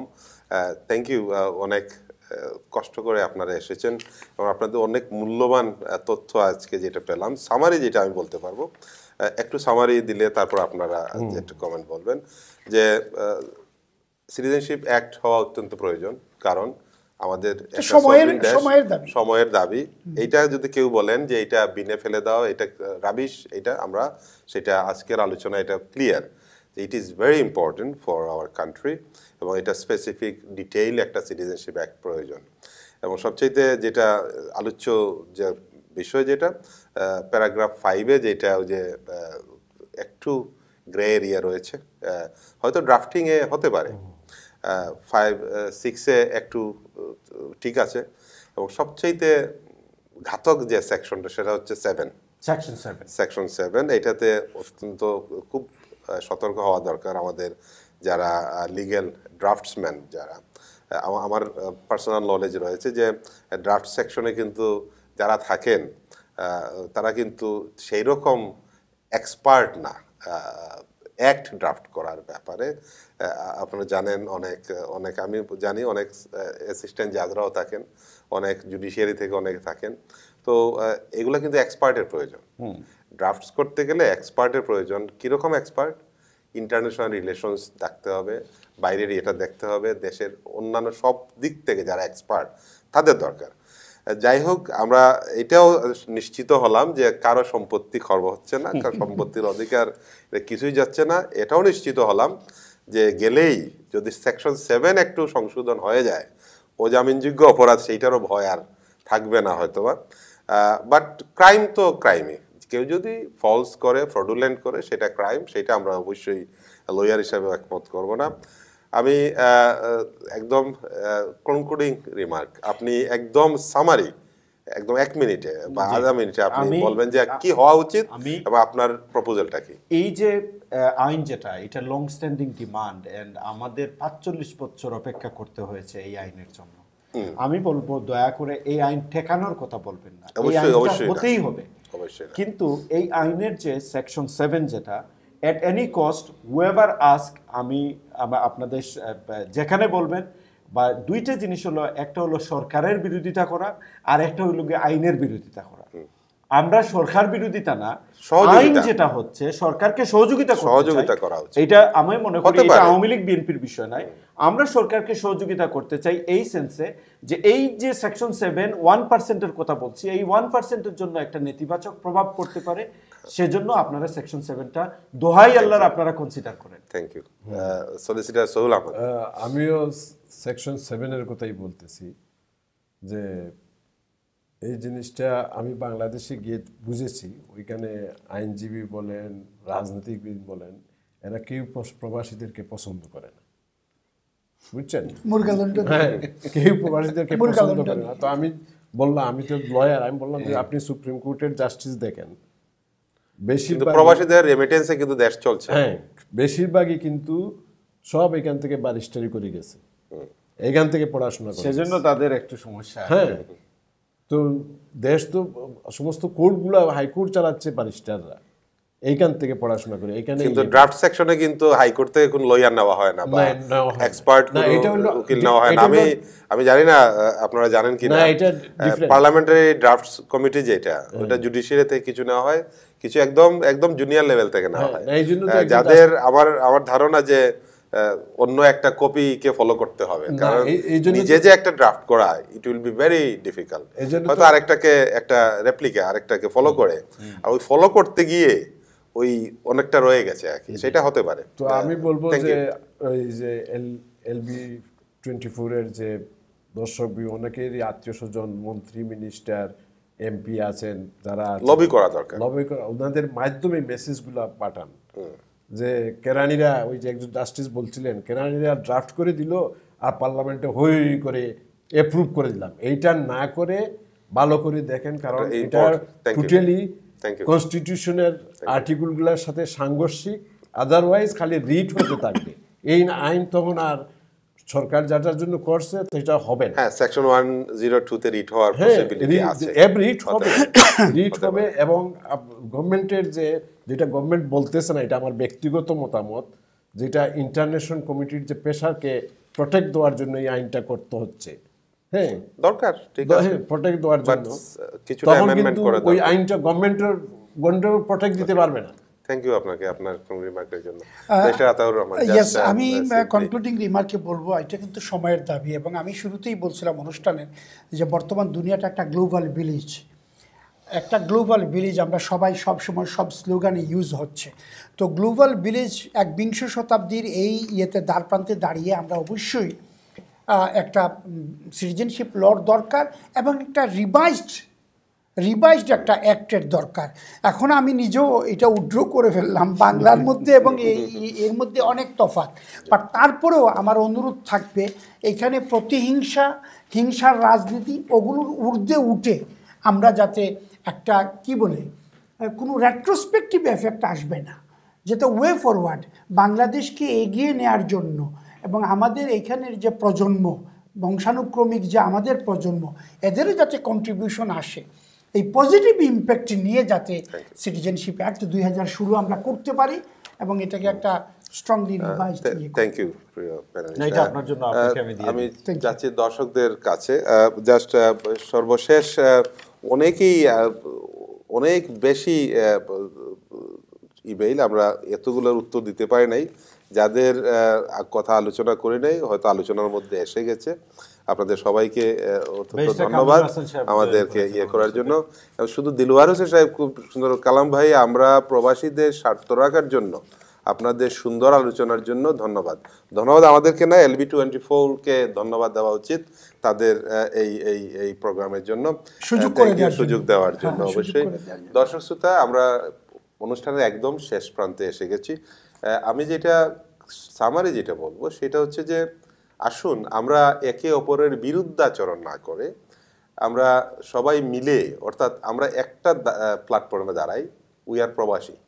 আমরা বাংলাদেশের বাইরে যারা যে কোনো দেশে, ইউরোপ, আমেরিকা বা যে কোনো দেশে আছে, আমরা সবাই যদি প্রবাসী হিসাবে একই প্ল্যাটফর্মে এসে আমাদের যে দাবি, আমাদের দাবিটা আজকের যে আলোচনার মাধ্যমে চলে এসছে, যে সেকশন সেভেন সেকশন সিক্স এই এই যে কতগুলো গ্রে এরিয়া রয়েছে সেই জায়গাগুলো আমার মনে হয় section ফাইভ বা ইয়ে এই জায়গাগুলো একটু সংশোধন হওয়া দরকার এবং সংশোধনের জন্য কি দরকার?